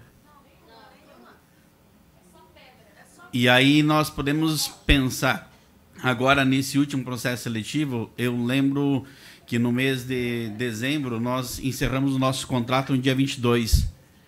Nós vamos para fazer a escolha das aulas é, próximos, e aí, dia 27 e 28 de janeiro, né? E aí, quando a gente faz essa escolha, muitos de nós permanecem em casa que não consegue aula. Uma porque questão do, do, do, sistema agora, que já foi comentado aqui, mas anterior o mesmo problema tínhamos. Quantos professores, depois desse processo, permanecem em casa sem conseguir acessar as suas aulas, sem ter essas aulas? Eu, eu gostaria que vocês observassem isso, porque se você, nesse contexto, nós estamos recebendo o nosso salário no, no final do mês de março. No final do mês de março. Você precisa sobreviver três meses com a sua rescisão de contrato. Se, o contra, se, o, se o, as escolhas das aulas acontecem antes, ainda antecipada aí no final do mês de talvez no final do mês de janeiro, no metade do mês de janeiro em diante, no, esse problema ele começa a ser solucionado. Então são algumas situações que existem e a questão de, de, de, professores ACT agora nesse nesse momento do edital atual que não conseguiram pegar aula é, para a questão da, do zerar em redação ou algo nesse sentido e que hoje estão em outras áreas como trabalhando em padaria trabalhando em algumas áreas têxtil também. Enfim, tiveram que ir para outras áreas para sobreviver, para ter colocar então o alimento todo dia na, na, na mesa da sua família. É, observando todo esse contexto e, e, eu, e falando sobre a questão do edital que foi ouvido aqui, eu não sei se isso é possível, mas deixaria talvez uma sugestão da questão de que nesse ano, é, vamos mesmo no ano eleitoral, é, se fosse possível um novo edital e um novo processo seletivo para este ano, a gente estaria então para o ano que vem um próximo caminho. Para isso acontecer, eu sugiro que o Ministério Público, sindicato, é, a, a, deputada Caminati, talvez pela, pela, pela Comissão da Educação, acompanhasse essa elaboração desse edital e a execução desse edital como comissão para isso acontecer. E aí talvez a gente possa ter talvez um edital com uh, chegando aos anseios que nós buscamos dos ACTs. Obrigado. Ok, obrigada. O Tiago e depois a regional de Florianópolis, o Vinícius.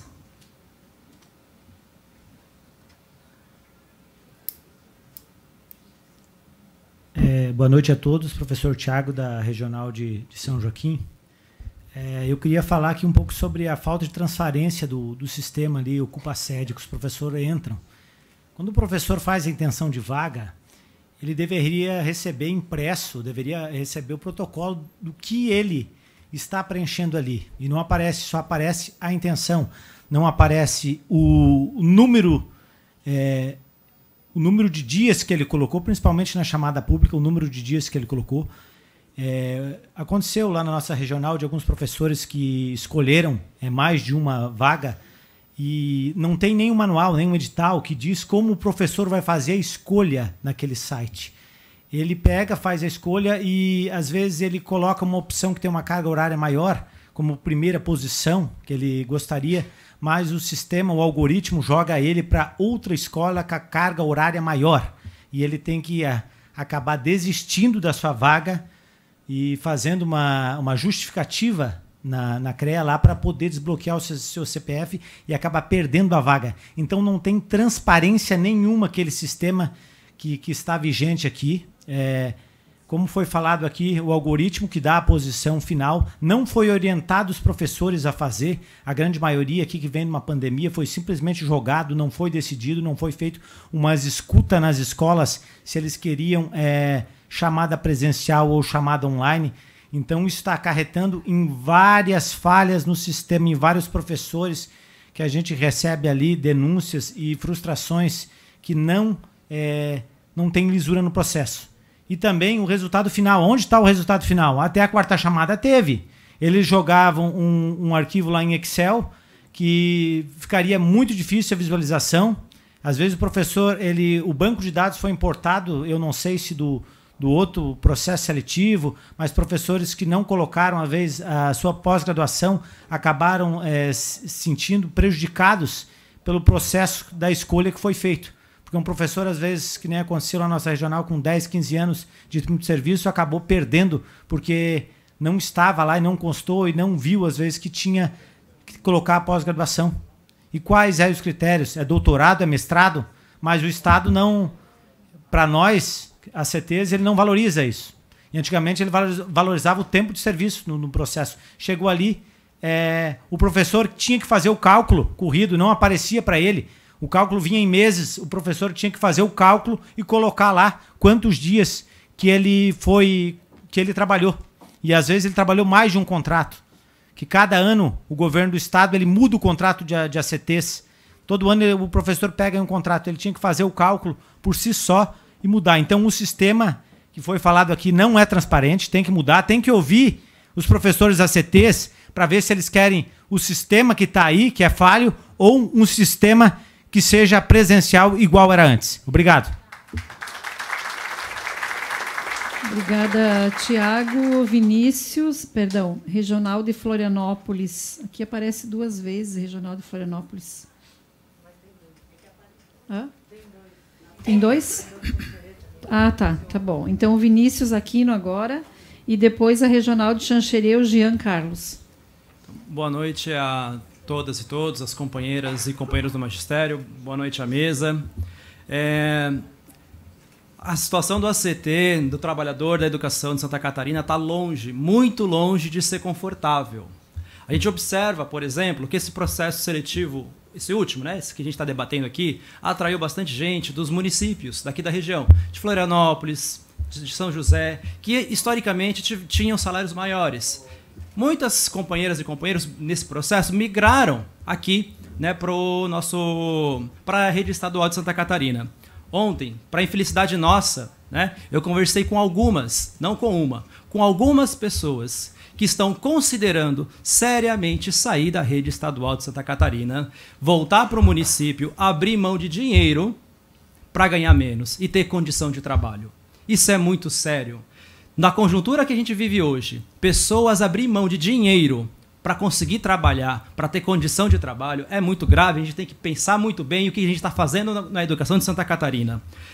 Algum, uma, inclusive, já se exonerou e não volta mais e vai pegar a vaga ali em Florianópolis. É, o que, que motiva isso? Qual que é a motivação dessas pessoas? Gente, aqui eu não consigo dar todos os prognósticos possíveis para esse processo, mas é importante a gente tentar traçar alguns, alguma, alguns fazer alguns apontamentos para tentar observar. Salas de aula lotadas. Nós temos dentro da Hoje, ó, minha voz está falhando, eu dei sete aulas hoje, a maioria delas eu tinha mais de 30 alunos em sala de aula. É, nós temos uma carga de trabalho anos os anos finais do ensino fundamental e o médio, 32 aulas. Na prefeitura, são 28. Anos iniciais, são 40 aulas.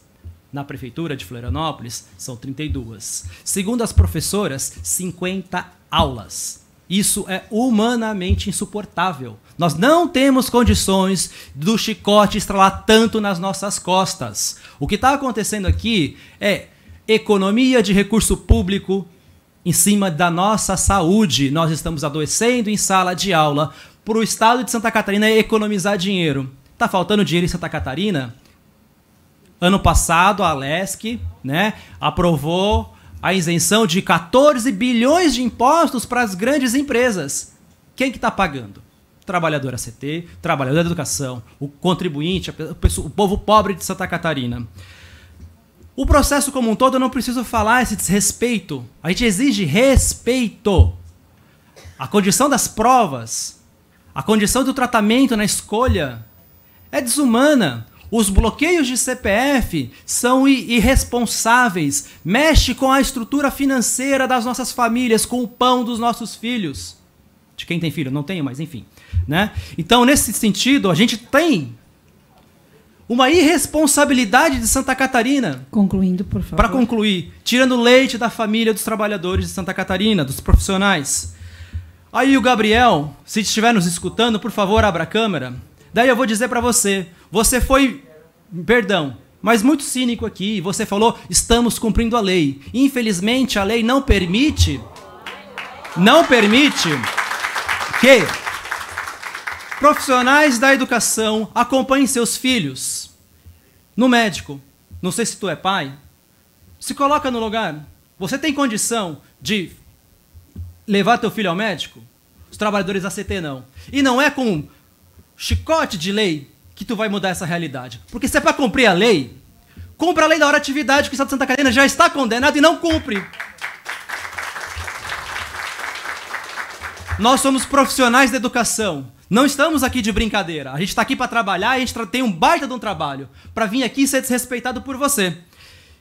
Então, o que está acontecendo aqui? Trabalhador da CT não tem direito à estabilidade. A qualquer tempo, a qualquer dia, pode ser sumariamente demitido. Não tem seguro-desemprego, não tem fundo de garantia, sai com a mão na frente e outra atrás. Isso é uma baita, baita de uma crueldade. A questão das faltas é o assédio institucionalizado do governo de estado de Santa Catarina, assédio nas nossas costas. A gente fica na mão da Concluindo. direção. Para concluir mesmo, a gente fica na mão das direções de escola.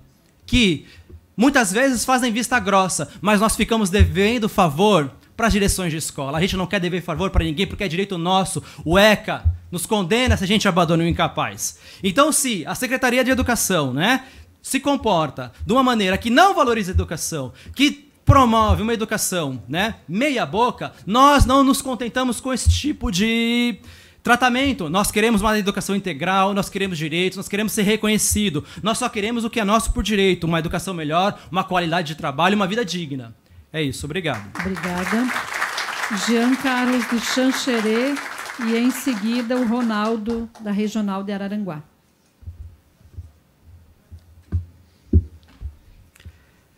Boa noite a todos. Boa noite à deputada Luciane Carminati, presidente da Comissão de Educação, Cultura e Esporte da LESC. Em nome dela, cumprimento os demais da mesa.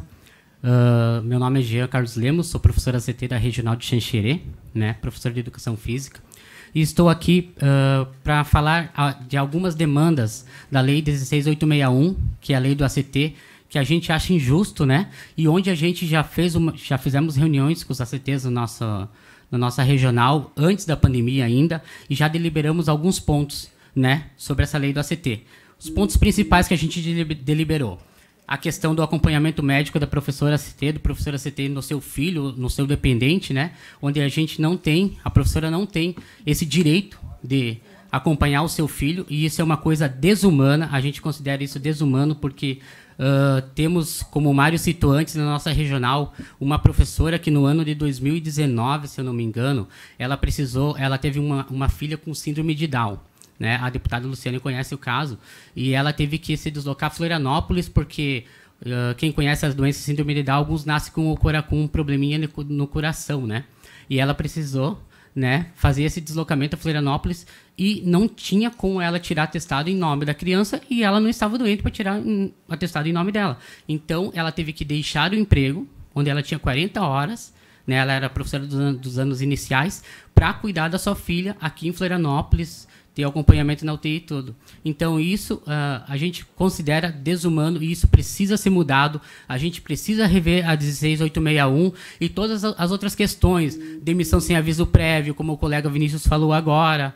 Uh, outra questão também, uh, a questão de horista. A gente quer que voltem nos planos 10, 20, 30, 40, né, Daniel? Porque não existe a gente ficar trabalhando oito aulas aqui, duas aulas lá, cinco aulas lá, para a gente completar uma carga horária de 32 e 40, de 40 horas, porque isso é desumano, por isso que o professor tem que se deslocar Concluindo. em todas essas escolas. Uhum. Né? Queria falar também a respeito da, da chamada da chamada agora pública, que, que aconteceu, a chamada pública, a chamada digital também, e citar para o promotor, promotor, que eu trabalhei um mês numa escola do regular, lá em Xixerê, e nenhum dos dias, dos 30 dias que eu trabalhei lá, nenhum estavam todos os professores na escola. Nenhum dos dias. Então, isso o Ministério Público tem que ver, isso a promotoria tem que ver, porque o Estado passa desapercebido nesse processo, porque está faltando os professores, esse sistema joga as aulas lá, a gente não consegue pegar, o professor pega e larga e fica bloqueado, né? E também, uh, para a gente rever também a questão da, Só para concluir, só para concluir, uh, deputada, a questão dos professores da CT da Fundação também, né? Hoje eu sou um professor da CT da Fundação. Eu fui uh, chamado, fui, fiz a escola no dia 21 e ainda eu não fui contratado. Eu já mandei toda a minha documentação, está tudo certinho, e ainda eu não comecei a trabalhar, porque a fundação é muito lenta nesse processo, e quem fica desamparado, o aluno com deficiência lá na PAI. Então vamos rever isso e vamos mudar 16861 para a gente fazer uma educação melhor no estado de Santa Catarina. Obrigada, Jean. Ronaldo de Araranguá e depois o Sandro de Blumenau.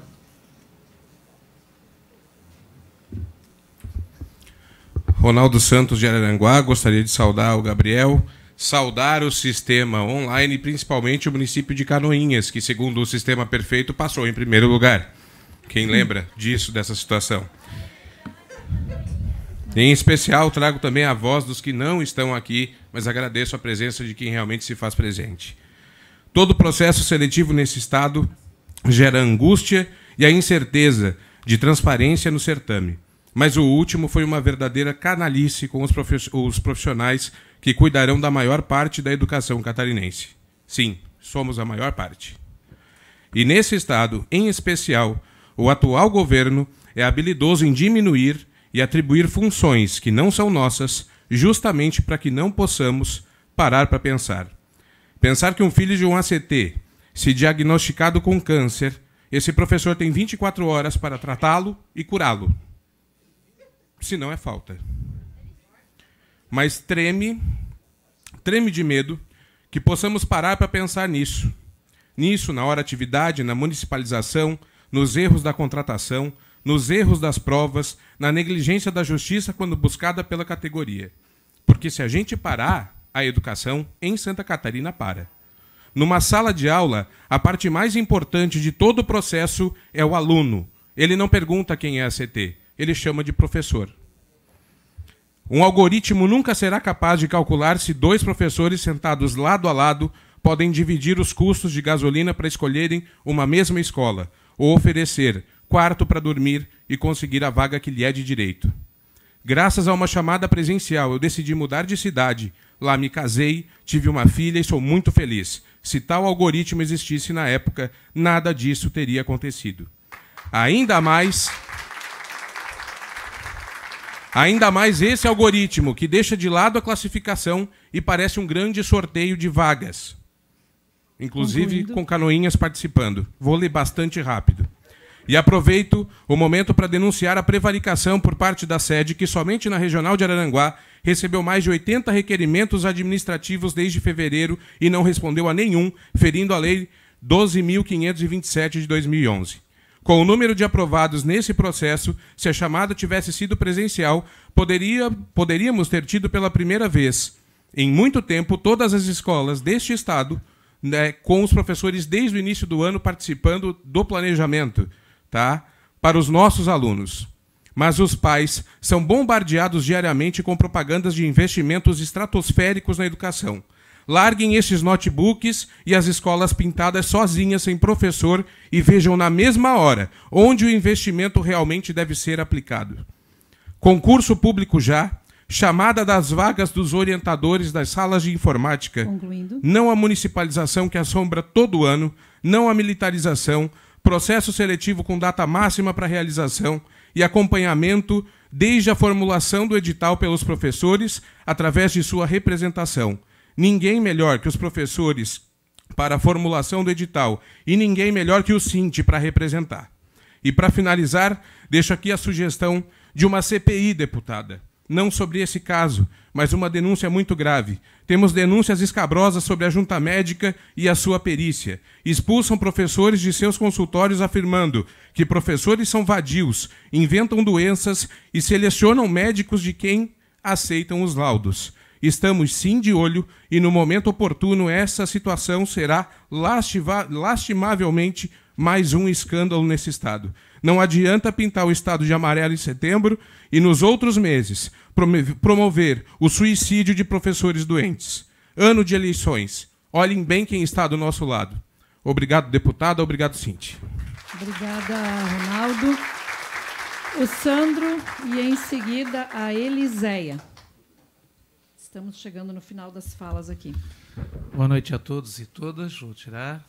Sandro da Regional de Blumenau, do Cinti. Agradecer aí a deputada Luciane Carminati, mais um professor com óculos quebrado.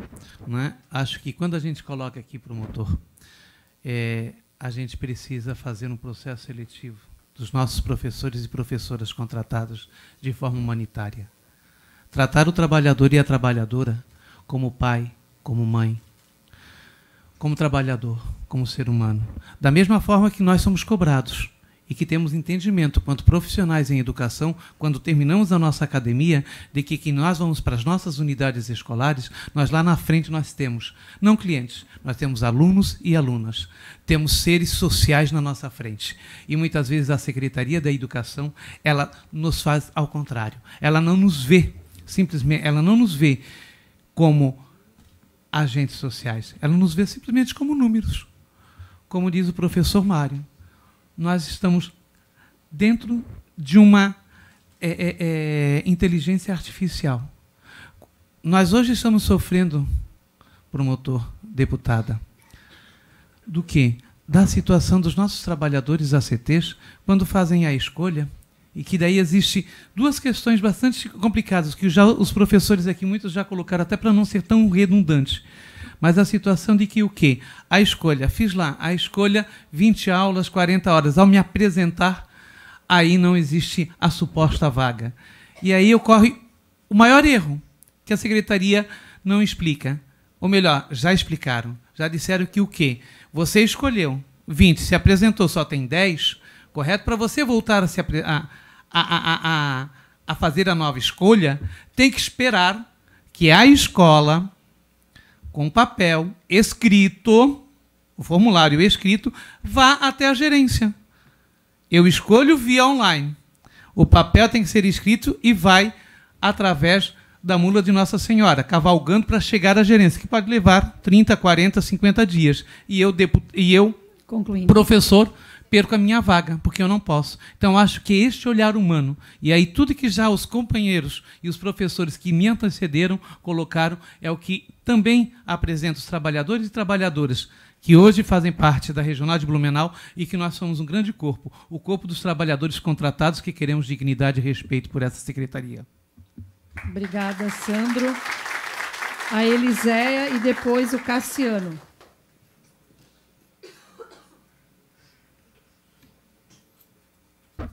Boa noite a todos. Sou professora CT, parece que de novo desempregada, né? É, é uma grande falta de respeito com os professores, com a nossa classe e também com a comunidade. Porque esse sistema o qual foi implantado aí é falho, sistema falho, o qual tem um algoritmo que não é verdadeiro. Vários professores chegando na escola tendo que voltar desempregado para casa porque a vaga a qual ele se inscreveu não fecha com todos os requisitos que, segundo eles, teriam que estar lá, que está no edital. Eu fui chamada primeiro em fevereiro para duas vagas, é, me inscrevi. Eu não tenho, não tinha obrigação de saber quantos dias exatamente eu tinha trabalhado anteriormente.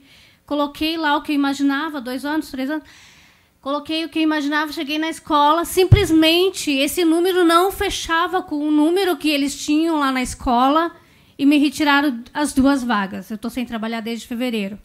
Resumindo, fiquei com o CPF bloqueado duas semanas para tentar entrar numa chamada de novo para ser chamado. Me inscrevi em tudo que eu imaginava que eu podia ser chamada lá. Me chamaram para duas vagas, a qual não existe no sistema. Fui trabalhar, fiquei duas semanas trabalhando na vaga de 14 horas cada. Lá na vaga eu descobri que eu teria que trabalhar online no contraturno, que não seria possível. E aí, enfim, chegou a situação que eu tive que abrir mão das duas vagas. De novo, eu desempregada e mais um tempo com o CPF bloqueado. Me inscrevi ontem a outras vagas Cheguei na escola hoje, vou trabalhar, né? Feliz, emprestei dinheiro para conseguir chegar até lá. Moro no norte da ilha, fui trabalhar dentro da base aérea, gastei dinheiro para ir até lá. Uh, Chegando lá, o que aconteceu? O meu número estava correto. Aleluia. Aí, o que aconteceu? Cheguei lá, a especialização que eu usei na outra escola ano passado, esse ano não estão aceitando. Fiquei eu desempregada de novo. Concluindo. Concluindo, eu dou graças a Deus que minha filha está estudando numa, numa escola pública e hoje ela tinha um prato de feijão e arroz para comer. Aí eu ando, claro, linda e bela como eu sou, ninguém vê o que eu passo lá dentro de casa, que eu não tenho comida para dar para minha filha, que sou eu que sou a provedora da minha casa. E agora eu tô com o CPF bloqueado, vou chegar em casa, tentar mandar um, um, um documento lá para a SET para eles desbloquear meu CPF. Enquanto isso, os alunos lá sem aula. O aluno que eu falei com a mãe dele lá para trabalhar ficou sem, sem vir para a escola no outro dia que ele ia vir. Cheguei, na escola que eu fui à tarde, estava saindo duas professores na mesma situação. Por algum motivo, ela Concluindo, não tinha conseguido pegar a vaga. Uma saiu chorando. Eu não saí chorando, não sei como.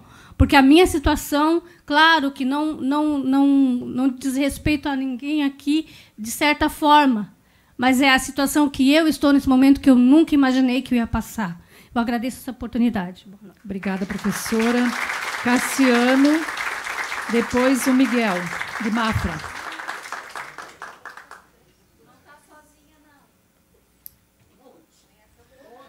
Boa noite Cassiano. a todos.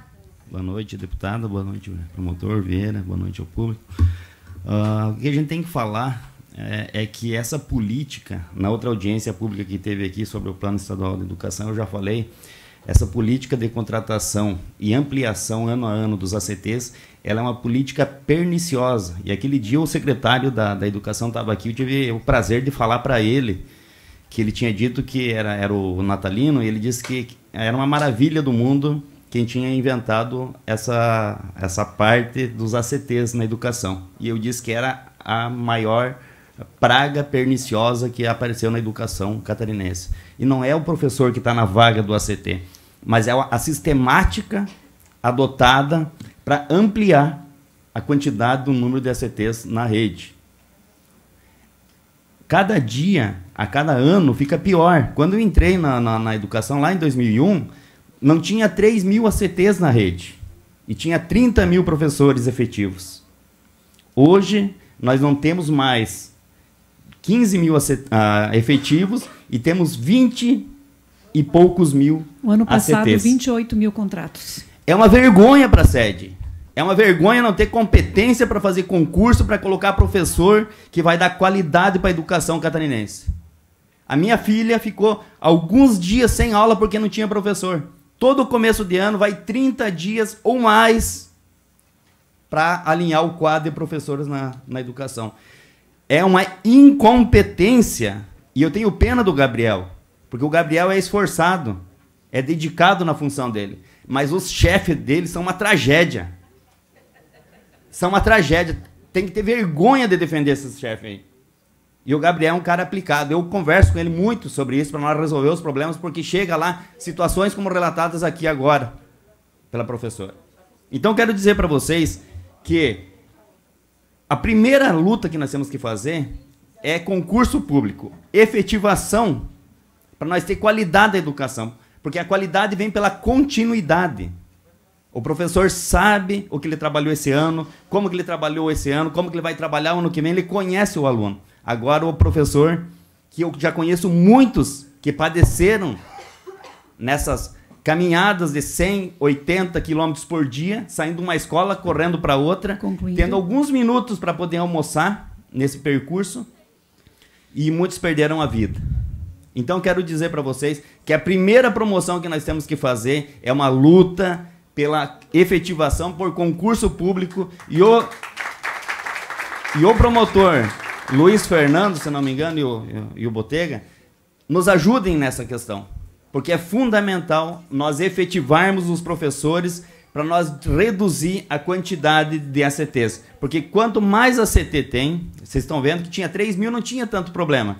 Hoje okay. nós temos sete Concluindo. vezes, oito vezes mais ACTs. O que acontece? Os problemas estão se multiplicando. Então, a solução é concurso público, efetivação e respeito a cada professor que dá a vida pela educação catarinense. Obrigada, Cassiano.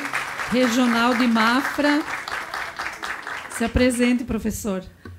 Boa noite, pessoal. Sou o professor Alexandre de Bruno dos Santos, da Regional Mafra. Sou professor ACT desde 2014. É, assim como todos os colegas aqui, já enfrentei várias barras, né, tendo que correr de uma cidade para outra, de uma escola para outra, sem falar humilhações que passamos, desrespeito por gestores dentro das escolas. Assim como o Vieira falou, certamente na, na, na sua fala de abertura, tem gestor que não é gestor, é ditador dentro de escola e que muitas vezes humilha o professor por ele ser ACT. Eu já passei por isso e garanto que vários colegas aqui já passaram. E trago também uma fala aqui do colega Jean de Chancheré, que disse da questão da contratação. Eu, se não tivesse brigado dentro da minha regional para conseguir que a minha contratação saísse o mais breve possível, eu tinha que me apresentar em 24 horas. Acho correto minha apresentação, por quê? Porque o aluno merece ter aula. Né? Tenho que me apresentar, começar o mais breve possível, porque eu sei que todos nós aqui queremos o melhor pelos nossos alunos. Ninguém quer fazer qualquer coisa de qualquer jeito para os nossos alunos. Nós queremos dar aula com qualidade para os nossos alunos. Mas aí eu entrego meus documentos no dia 2 de março, chega lá quase no dia 15 de março, e a minha contra... os alunos já estavam um mês sem aula, tudo bem, eu já entrei em sala, e a minha contratação não ia sair se eu não tivesse brigado, porque estava fechando a folha de pagamento, e eu ficaria sem salário. Professor ACT também é gente. Professor ACT também tem aluguel para pagar. Eu não posso chegar para a dona da minha casa, da qual eu moro de aluguel, e dizer assim: ó, oh, eu quero te pagar mas espero que o governo vai me pagar dois meses junto, aí eu pago. Eu não posso chegar no posto de combustível, eu viajo de uma cidade a outra, na verdade, duas cidades fora da minha para trabalhar. Eu não posso chegar no posto de combustível com o preço maravilhoso que se encontra hoje os nossos combustíveis, né, que nem vamos chegar nesse tocante, chegar lá no posto assim, ó, eu quero abastecer o carro para ir trabalhar. Mas eu não posso te pagar, mas eu pago os dois meses junto que o Estado vai me pagar dois meses junto. Concluindo. Não é bem assim que as coisas acontecem. Todos nós sabemos disso aqui. Nós precisamos também com data limite para a, a execução do processo seletivo no primeiro semestre. E o que é mais importante, concurso público. É o que a gente não pode deixar de, de lutar, que haja um concurso público com respeito. E não adianta seletivo como foi esse, eliminatório. Porque aí cai na chamada pública e o algoritmo não mostra o que é cada um. Não mostra qual foi o critério de escolha. Tá? Tem que ter Concluindo. transparência. Obrigado a todos. Obrigado, Alexandre. O último a falar é o Joaquim, regional de Criciúma. Depois nós temos o Evandro e a Ilivane. E aí já temos muitos elementos aqui para concluir a audiência, né? Boa noite a todos. Sou um professor que aos 59 anos, pela primeira vez da vida, desempregado. E venho aqui, não em nome de entidade, mas acho que eu vou responder por milhares de ACTs que durante 12 anos a fio sempre esteve dentro da sala de aula. Juntamente com muitos que não vão estar na sala de aula esse ano. Ótimos professores. Com todo o respeito aos novos que um dia estarei, estarão no meu lugar ou no lugar dos aposentados. Mas cada um tem o seu tempo. E eu quero parabenizar essa mesa, porque essa mesa essa, essa audiência é convergente. O único divergente aqui é o governo, que mantém a escolha online e que vai aperfeiçoar.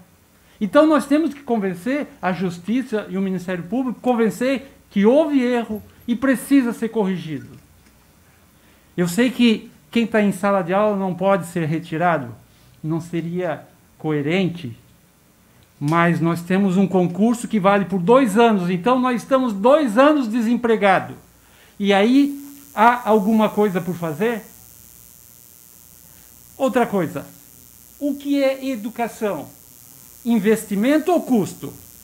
Para o governo atual, parece que é custo. Se for investimento, por que, que estão municipalizando?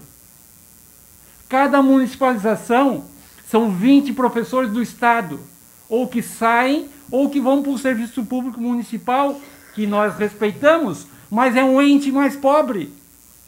O Estado está negligenciando a educação na medida em que passa para o município a sua responsabilidade constitucional.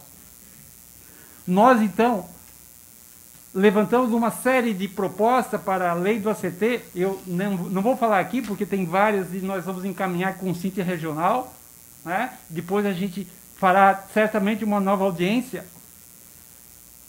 Mas nós temos que dar continuidade urgentemente e chamar o governo na mesa. E não é o assessor, nós queremos o secretário da minha cidade. Lá ele vai na rua. Por que, que não vai na frente dos professores? Assuma o seu papel, corrija o erro. Uma das maiores, é, uma das maiores virtudes é a humildade, é saber que errou. Só que o governo não está querendo compreender essa virtude. Não sei se tem. E para encerrar, certo?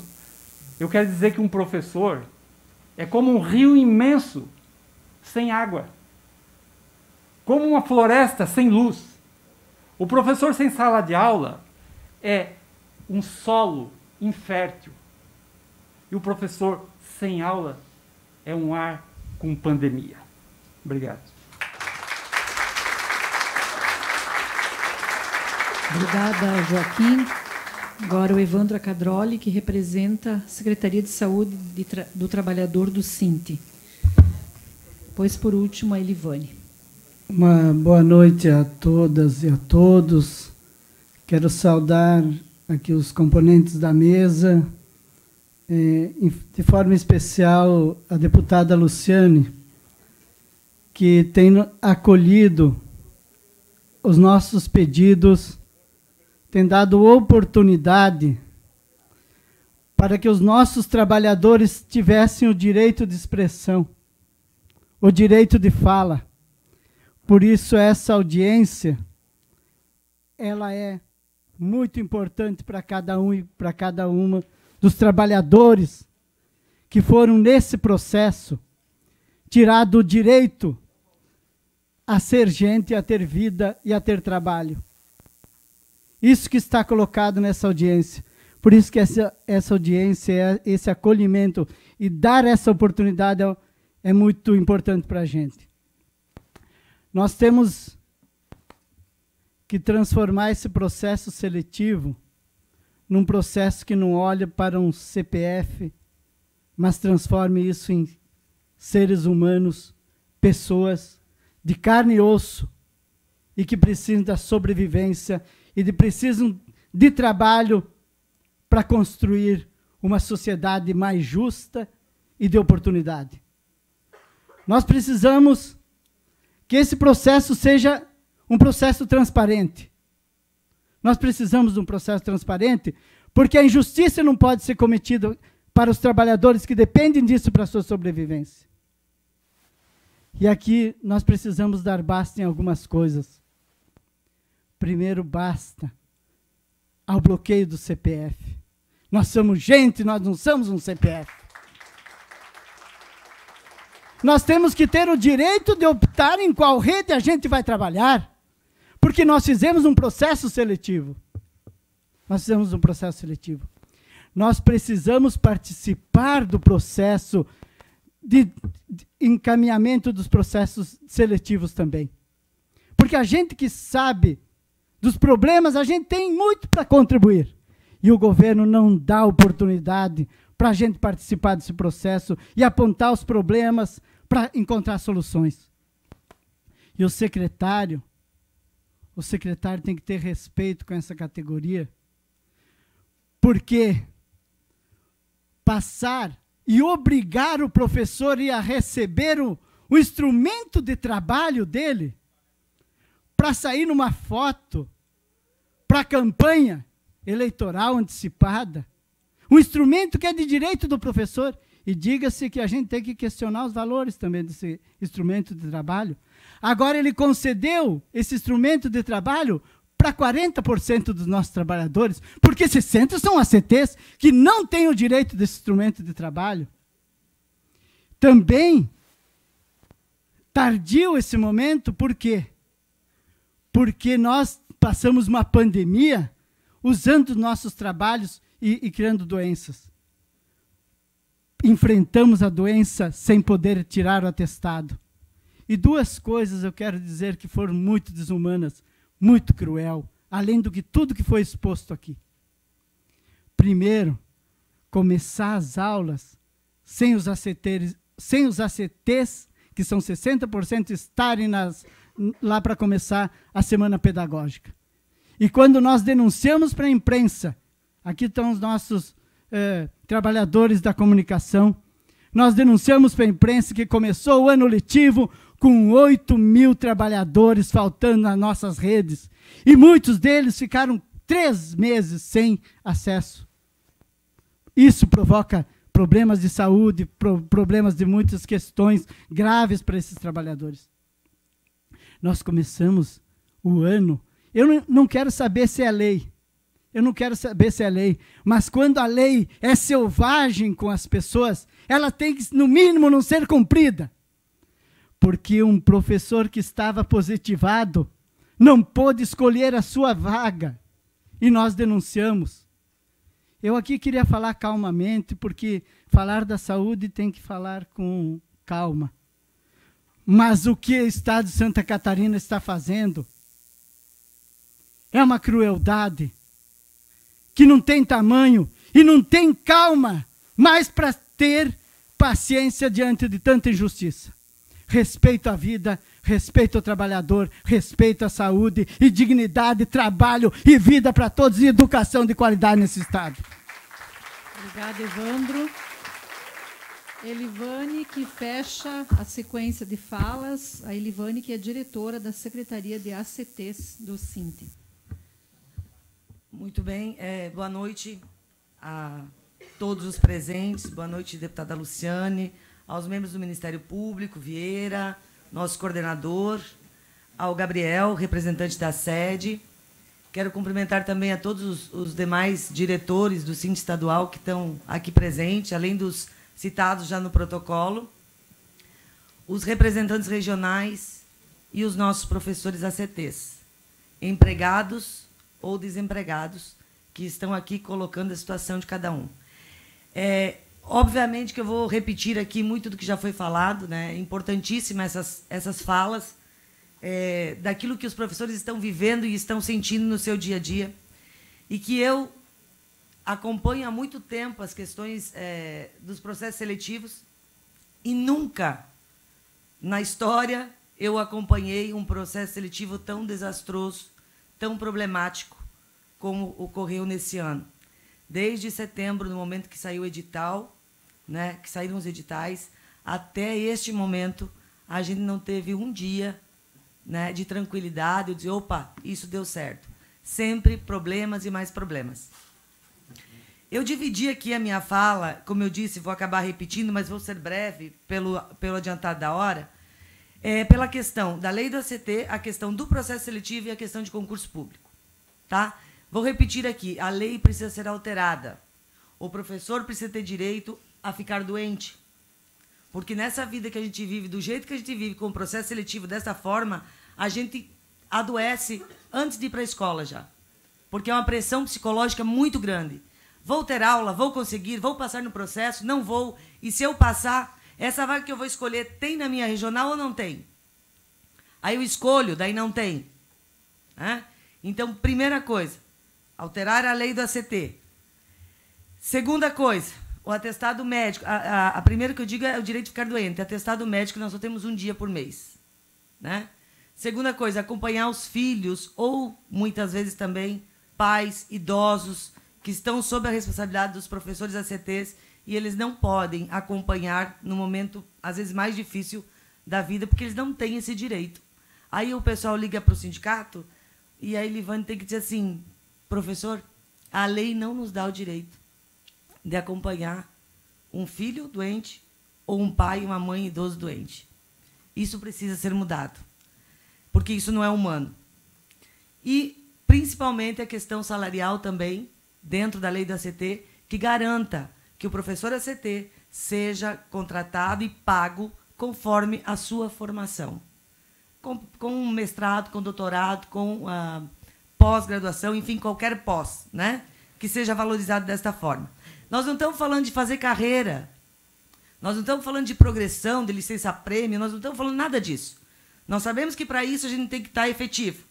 Nós estamos falando de valorização salarial conforme a formação do professor, conforme a dedicação do professor é, na sua carreira para melhorar o seu trabalho do dia a dia.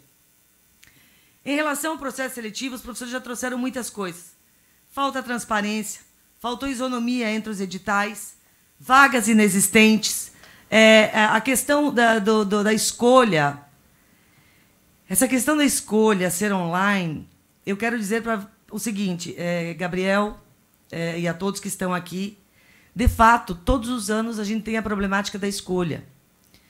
E, como já foi dito aqui hoje, a questão do espaço ser um espaço digno para a escolha presencial não é impossível. Ter uma água disponível para o professor tomar uma água, molhar a garganta durante a, o, tempo que está esperando para a escolha não é impossível. Né? Organizar a escolha com antecedência, talvez com mais dias, então, se não é para ficar das sete da manhã até meia-noite, faça isso com antecedência Faça dois ou três dias, para que seja uma escolha humana. Para que o professor possa estar lá e dizer: olha, as vagas são essas. Opa, eu quero essa, porque essa é próxima da minha casa. Porque se eu pegar aquela outra vaga, eu vou passar muito tempo no trânsito, não vai valer a pena para mim. E o sistema, como os professores já colocaram aqui, escolhe pela gente.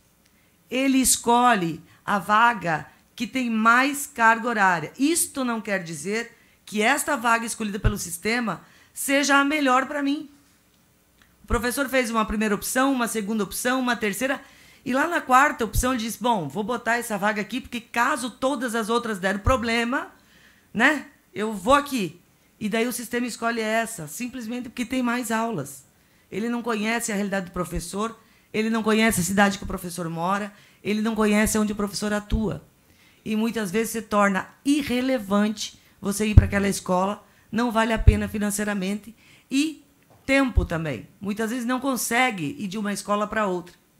E aí também, como os colegas já colocaram aqui, se eu desistir dessa vaga que o sistema escolheu para mim, generoso o sistema, né? Ele escolheu uma vaga maior do que eu pedi, eu tenho meu CPF bloqueado.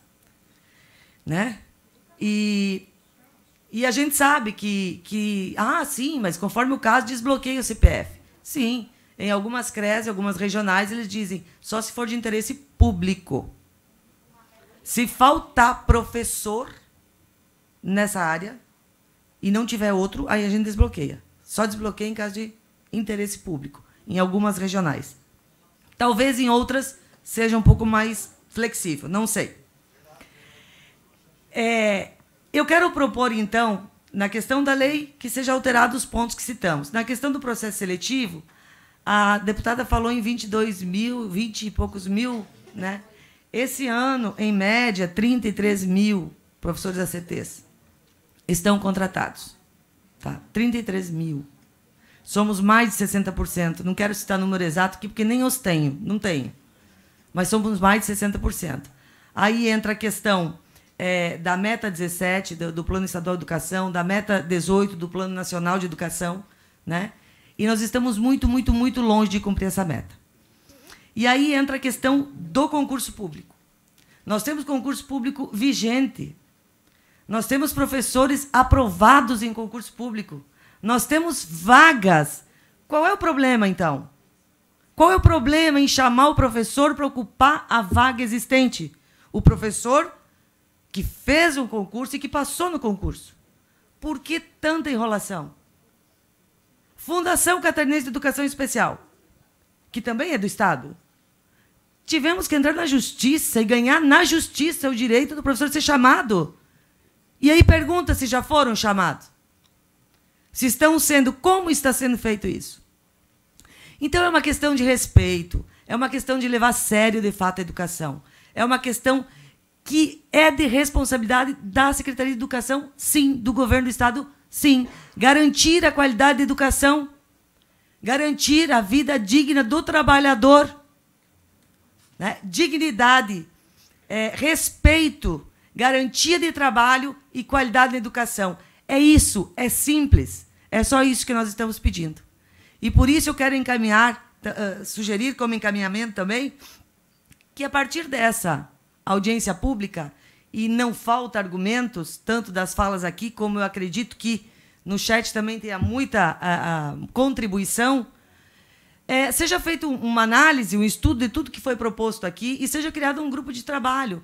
Não sei, aí a gente tem que analisar se é uma comissão mista, se é um, simplesmente um grupo de trabalho com representantes é, do Ministério Público, do, do, do, dos trabalhadores, é, da Alesc, enfim, para a gente discutir cada ponto desses e fazer os encaminhamentos que têm que ser feitos. Isso é urgente. Tá? Então, eu deixo isso como encaminhamento. Um grande abraço a todos os meus colegas que estão aqui aos que viajaram, bom retorno. Estarei viajando também né, com os que vieram lá do Oeste. Né, vou fazer essa viagem de volta com o pessoal. Obrigado por terem vindo. E, e só assim, a gente colocando aquilo que está acontecendo é, para as autoridades, falando para quem puder ouvir, é que a gente também consegue começar as mudanças. Elas têm que começar a partir de nós. E que bom que nós temos pessoas que nos ouvem. Quero agradecer muito a deputada Luciane Carminati, prontamente, conforme ela colocou no começo da fala dela, o dia que nós encaminhamos o ofício, o requerimento, né, em fevereiro, prontamente ela recebeu, encaminhou na comissão de educação, pediu a aprovação, foi aprovado e já estamos aqui realizando a nossa audiência pública. Então, muito obrigada, deputada Luciane, por mais uma vez você, você ouvir o, o, os anseios né, dos professores no geral e, nesse momento, principalmente os professores da CTs. Obrigada pelo espaço e nos colocamos à disposição, tanto do Ministério Público, da Alesc, da Secretaria de Educação, para conversar. Há muito tempo nós chamamos né, o governo do Estado e a Secretaria de Educação para a gente sentar e conversar. Está muito difícil, não tem nos atendido. Está muito difícil mesmo. Certo? Obrigada, então, e vamos dar, Obrigada. sim, sequência a esse trabalho. Obrigada, Elivane. Para a gente fechar a audiência, eu quero fazer um pedido antes de vocês saírem, para depois a gente fazer um registro fotográfico, porque isso fica, inclusive, como documento, né? um registro de quem está presente. Lembrando que no YouTube nós tivemos, sem diminuir, quase 500 pessoas acompanhando, do início ao fim 70 páginas de participação, comentários. Tá? Isso tudo é documento da audiência junto com vocês aqui. Eu quero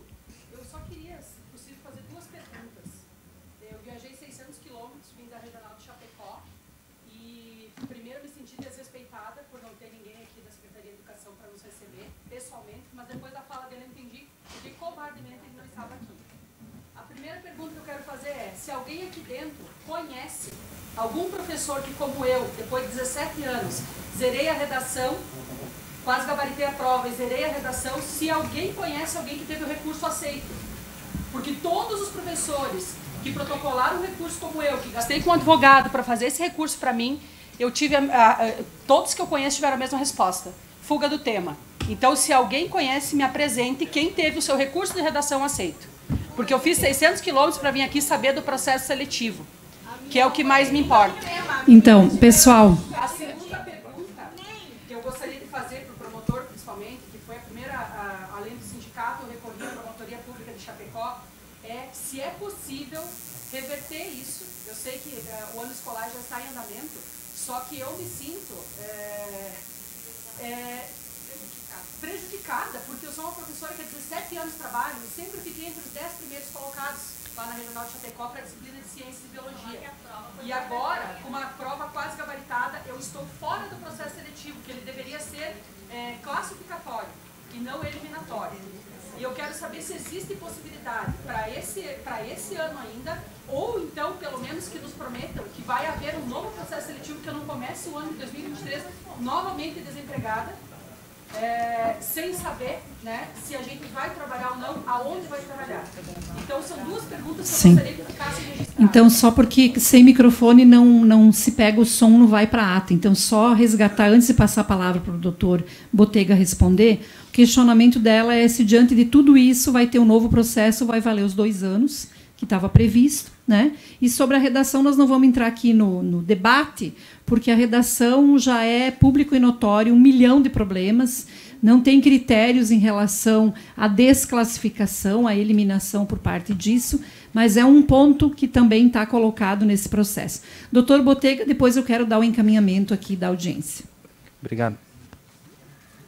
Obrigado, deputada. Obrigado. Eu não peguei o seu nome, perdão. Cristiane.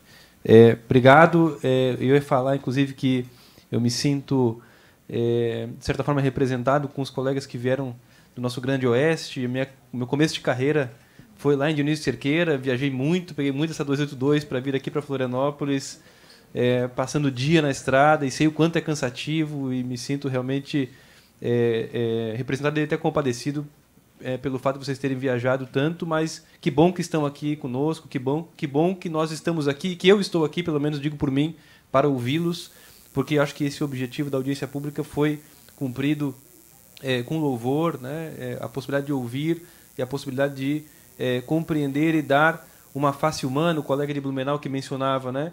É, humanizar esse processo que não é só um algoritmo, que não é só um monte de papel, é, mas sim que reflete na vida é, e na saúde mental, né? o colega que mencionava questões de saúde também, é, é, é na vida das pessoas e na saúde mental e no atendimento, obviamente, é, dos nossos alunos e alunas. É, eu queria muito brevemente, deputada, só mencionar também que o Ministério Público, obviamente, está aberto não só aqui na capital, quando as questões são né, de relevância estadual, são problemas que são decorrentes de uma medida a nível estadual, isso, claro, repercute aqui na promotoria da capital mas questões pontuais é, de falta de professores, por exemplo, em determinados municípios ou comarcas, é, isso pode ser levado ao conhecimento é, das promotorias locais que vão atuar também para corrigir, porque é inadmissível, claro, que crianças e adolescentes permaneçam por 30 dias ou por qualquer dia que seja é, sem é, aulas por conta de problemas administrativos de quem quer que seja, né? É, e, e mas dizer para, né, sobretudo para a professora, né? É, eu mencionava antes na minha fala das limitações né, do Ministério Público, é, porque constitucionalmente nós temos é, é, a, a, possibilidade de intervenção e de atuação quando há direitos difusos e coletivos é, violados. Então, aqui nós estamos discutindo de um processo que não diz respeito apenas a um professor, não é o problema individual de um professor, mas sim um problema coletivo de uma classe que decorreu de decisões públicas e políticas é, da Secretaria de Educação e que, né, pela própria fala do Gabriel, que tem reconhecido o, o, os erros, ainda que é, não da forma talvez que todos gostariam, mas que já demonstra então também essa possibilidade, pelas falas também já percebi que é possível sim, com alguns ajustes, com muitas melhorias, claro que são necessárias, corrigir esse processo para os próximos anos. Né? É, mas quando a questão diz respeito é, individualmente, eu sei que é difícil fazer essa diferenciação às vezes, é uma questão muito técnica mesmo, jurídica, mas quando a questão diz respeito apenas àquele professor, por exemplo, a sua prova individual, ela não afeta coletivamente a educação catarinense, afeta o seu direito. Agora, quando vários professores têm o mesmo problema na redação, aí isso. E aí isso. Isso. Aí nesse caso Sim, com certeza. Essa, é a diferenciação que eu queria fazer. Né? Quando nós temos um problema que é coletivo, né? que deixa de ser o problema da Cristiane, do João, da Maria, do José, ele passa a ser possível de intervenção do Ministério Público. O que não impede, desde logo, que cada um daqueles que foram individualmente é, lesados, eventualmente, possivelmente lesados, levem ao conhecimento do Judiciário a sua demanda. Né? Porque eu não tenho, o Ministério Público não tem legitimidade para defender o direito do professor X, do professor Y. Ele tem legitimidade para é, defender o direito do conjunto dos professores, sobretudo quando isso tem um reflexo no atendimento dos estudantes, como me parece ser o caso. Então, é, o que eu queria responder para a Cristiane é que uma coisa não impede a outra, né? Nós vamos atuar, já até conversava aqui já com, com o Luiz Fernando, né? já estamos atuando, inclusive, já temos um procedimento instaurado desde a época do Dr. Davi do Espírito Santo, que foi promotor da educação aqui na capital, já há alguns anos atrás, para acompanhar o cumprimento da, da meta 18.1 e 17.9, se não me engano, do Plano Estadual de Educação, né?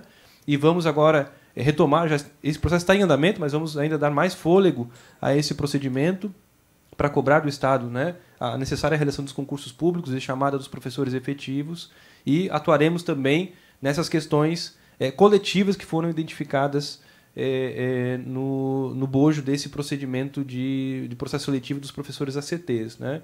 Mas, como eu disse, isso não impede que cada professor procure individualmente, por meio do sindicato, por meio de um advogado particular, buscar diretamente, individualmente, seu direito perante o Poder Judiciário. Então, só queria fazer essa diferenciação, e aí eu não tenho como dizer de antemão se isso vai ter um impacto de refazer o processo seletivo, é, porque seria especulação de minha parte. Né? Isso vai depender do que ficar comprovado no procedimento e dessa avaliação, se é, se é o caso. Né? Temos que fazer uma avaliação de, de razoabilidade, também de custo, benefício, até que ponto né, vamos fazer, refazer esse processo ou vamos aproveitar e corrigir o processo é, da maneira que foi, for melhor da, melhor, melhor, da melhor maneira possível. Né? Então, basicamente era isso. É, deputado, agradeço o, o tempo também e a possibilidade de esclarecer esse ponto. Eu quero agradecer a todos e todas e o encaminhamento que a gente vai dar agora. Vocês vejam que as falas todas convergiram no entendimento do processo como um todo. Nós não tivemos falas divergentes, certo? Inclusive me chamou a atenção uh, a diversidade de questões que vieram, que é muito positivo, né? É, e aí, a nossa sugestão é de posse dos documentos aqui da audiência, né? então a ata das falas com os comentários e todas essas proposições, nós uh, compilamos isso, se torna um documento oficial. Nós vamos remeter à promotoria, à vara da moralidade administrativa. Eu havia combinado isso ontem com o doutor Luiz e agora na presença do doutor Botega também. E ao mesmo tempo em que a gente remete à promotoria, porque o doutor Luiz ontem me dizia assim, Botega, oh, eu estou apavorado, eu estou um mês aqui e o que, que foi esse processo? Né? Mas eu senti na fala dos dois promotores que querem corrigir, tem compromisso em acertar o rumo da coisa. Se isso vai ser para o ano que vem ou não, vai depender de todas essas tratativas que a gente vai dar a partir de agora, na minha avaliação. Né? Ou seja, também do posicionamento da vara da moralidade eh, em relação eh, ao processo e às irregularidades todas identificadas. Bom, feito isso, a sugestão da Elivane me parece que ela é extremamente pertinente. Acho que nós poderíamos combinar aqui que o Cinti é, define quem participa desse GT, não vamos escolher aqui, não precisa. Né? É, pela Comissão de Educação, uh, eu me submeto, se assim vocês concordarem, a estar junto nesse grupo. Tá? Sei que vocês queiram escolher entre os deputados da Comissão de Educação. Aí eu me submeto a estar junto nessa comissão e a gente fazer, Botega, essa conversa paralela com vocês. Porque a sede, o Gabriel me respondeu aqui, que anotou todas as questões e que vamos discutir as melhorias e aprimoramentos. Mas nós temos que fazer esse debate com a sede. A gente não pode esperar entregar para a sede dizer arrumem esse negócio. Nós vamos precisar, precisar tensionar para abrir esse canal e corrigir. Né? Então, esse é o encaminhamento. Eu quero agradecer a todas e todas, e eu vou reforçar aqui, doutor Botega. É, a chamada presencial ela pode parecer uma coisa arcaica, mas eu vou lhe dizer. A gente precisa entender o que é a vida de um professor. Ele não tem só rede estadual. E lá no sistema do Estado não aparece as tuas outras 20 horas do município ou da rede privada. Então, presencial, você sabe o que tu já tem. Às vezes, tu é concursado 20 horas na rede privada, perdão, na rede, na rede municipal. E aí tu mora a 100 quilômetros daquela vaga que o sistema te escolheu, você não quer. Então, se é presencial, você sabe qual é a vaga que tu vai pegar, onde tu mora e qual é o teu interesse. Então, não, não cabe essa situação de facilitar sendo online, porque não facilita. Né? E mais, né, gente? Encontrar locais nos, nos, nas nossas regiões, locais, como falou aqui a, a Janete, que dá para fazer uma boa chamada. Bom, se nós não tivermos, então, o que, que, é isso? Né? Eu acho que tem alguma coisa uh, errada. Então, acho que tem todos esses elementos. Professor?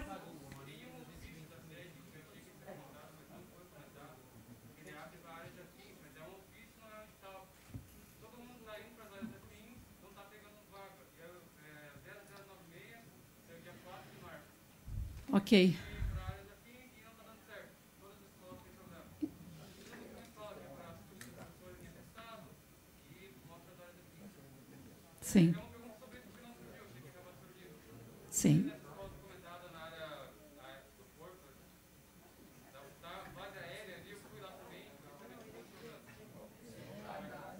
É, esse debate a gente vai fazer no conjunto também, tá? Ok? Só um pouquinho, só um pouquinho.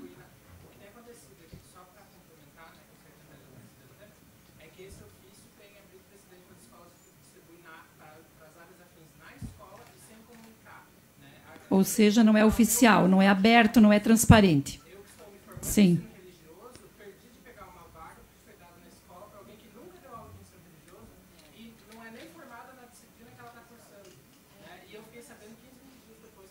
Ok. Deputada, ano passado foi feito um marketing né, pelo governo do Estado que os alunos, durante a pandemia, ficaram dois anos em casa, certo? Então houve aquela, aquela digressão, aquela regressão que eles tiveram, porque não é o mesmo ensino do presencial. Então foi feito um marketing que os alunos teriam é, um reforço né, no ano de 2022, que se iniciaria já, inclusive, as aulas com esse, é, com esse reforço, no caso nós chamamos de PENOA. Não aconteceu, as vagas não entravam no sistema, as vagas não entrarão no sistema, não sabemos para quando esse projeto entrará e as crianças continuam com defasagem. Hum? Então eu gostaria de saber do, do doutor, né, promotor, é, o que ele tem a dizer em relação a esse processo de defasagem e o não cumprimento da lei né, que foi feito pelo governador, pela Secretaria da Educação, que isso seria dado seguimento. Pessoal, nós estamos com o tempo aqui, né? Então, assim, nós não vamos resolver todas as questões aqui. Eu vou passar para o doutor Botega falar, ele tem que sair, já ia se retirar antes por compromisso, ele ficou, mas a gente precisa concluir essa audiência, tá? E nós vamos continuar fazendo debate de outros temas, inclusive que foram citados aqui, nós vamos continuar com outras audiências, tá? Doutor Botega. Obrigado, deputado. Agradeço a pergunta, porque são temas que acabam se tocando, né, no final das contas. É, é, é, claro que é necessário, né? E isso a gente vem cobrando do Estado e dos municípios desde o ano, aliás, antes, né, desde 2020, que sejam implementados é, programas complementares. Nós tínhamos o Penoa, né, no Estado, é, que, é, enfim, foi uma estratégia e aí agora o Estado, a última informação que eu tenho é que ele estava repensando, ampliar, mas com alguns ajustes. Tem um programa de alfabetização, enfim, eu tenho conversado com o Estado a respeito disso, mas de fato é, certamente temos que avançar, né? É uma preocupação do Ministério Público muito grande, né? Com os impactos é, da, da pandemia no, no, no, aprendizado dos alunos. E é, eu acho que essas questões específicas, até vou pedir, Vieira, se o Cinti tivesse material, reunir essas informações e representar para o Ministério Público. Nós temos já procedimentos em andamento, mas claro que quanto mais embasado nós estivermos com esses elementos concretos, mais força nós temos para cobrar a Secretaria inicialmente na forma extrajudicial e, se for necessário, é, entraremos na justiça também é, para cobrar é, que sejam implementados, porque isso, da, de minha parte, minha compreensão é muito clara com relação a isso. Né?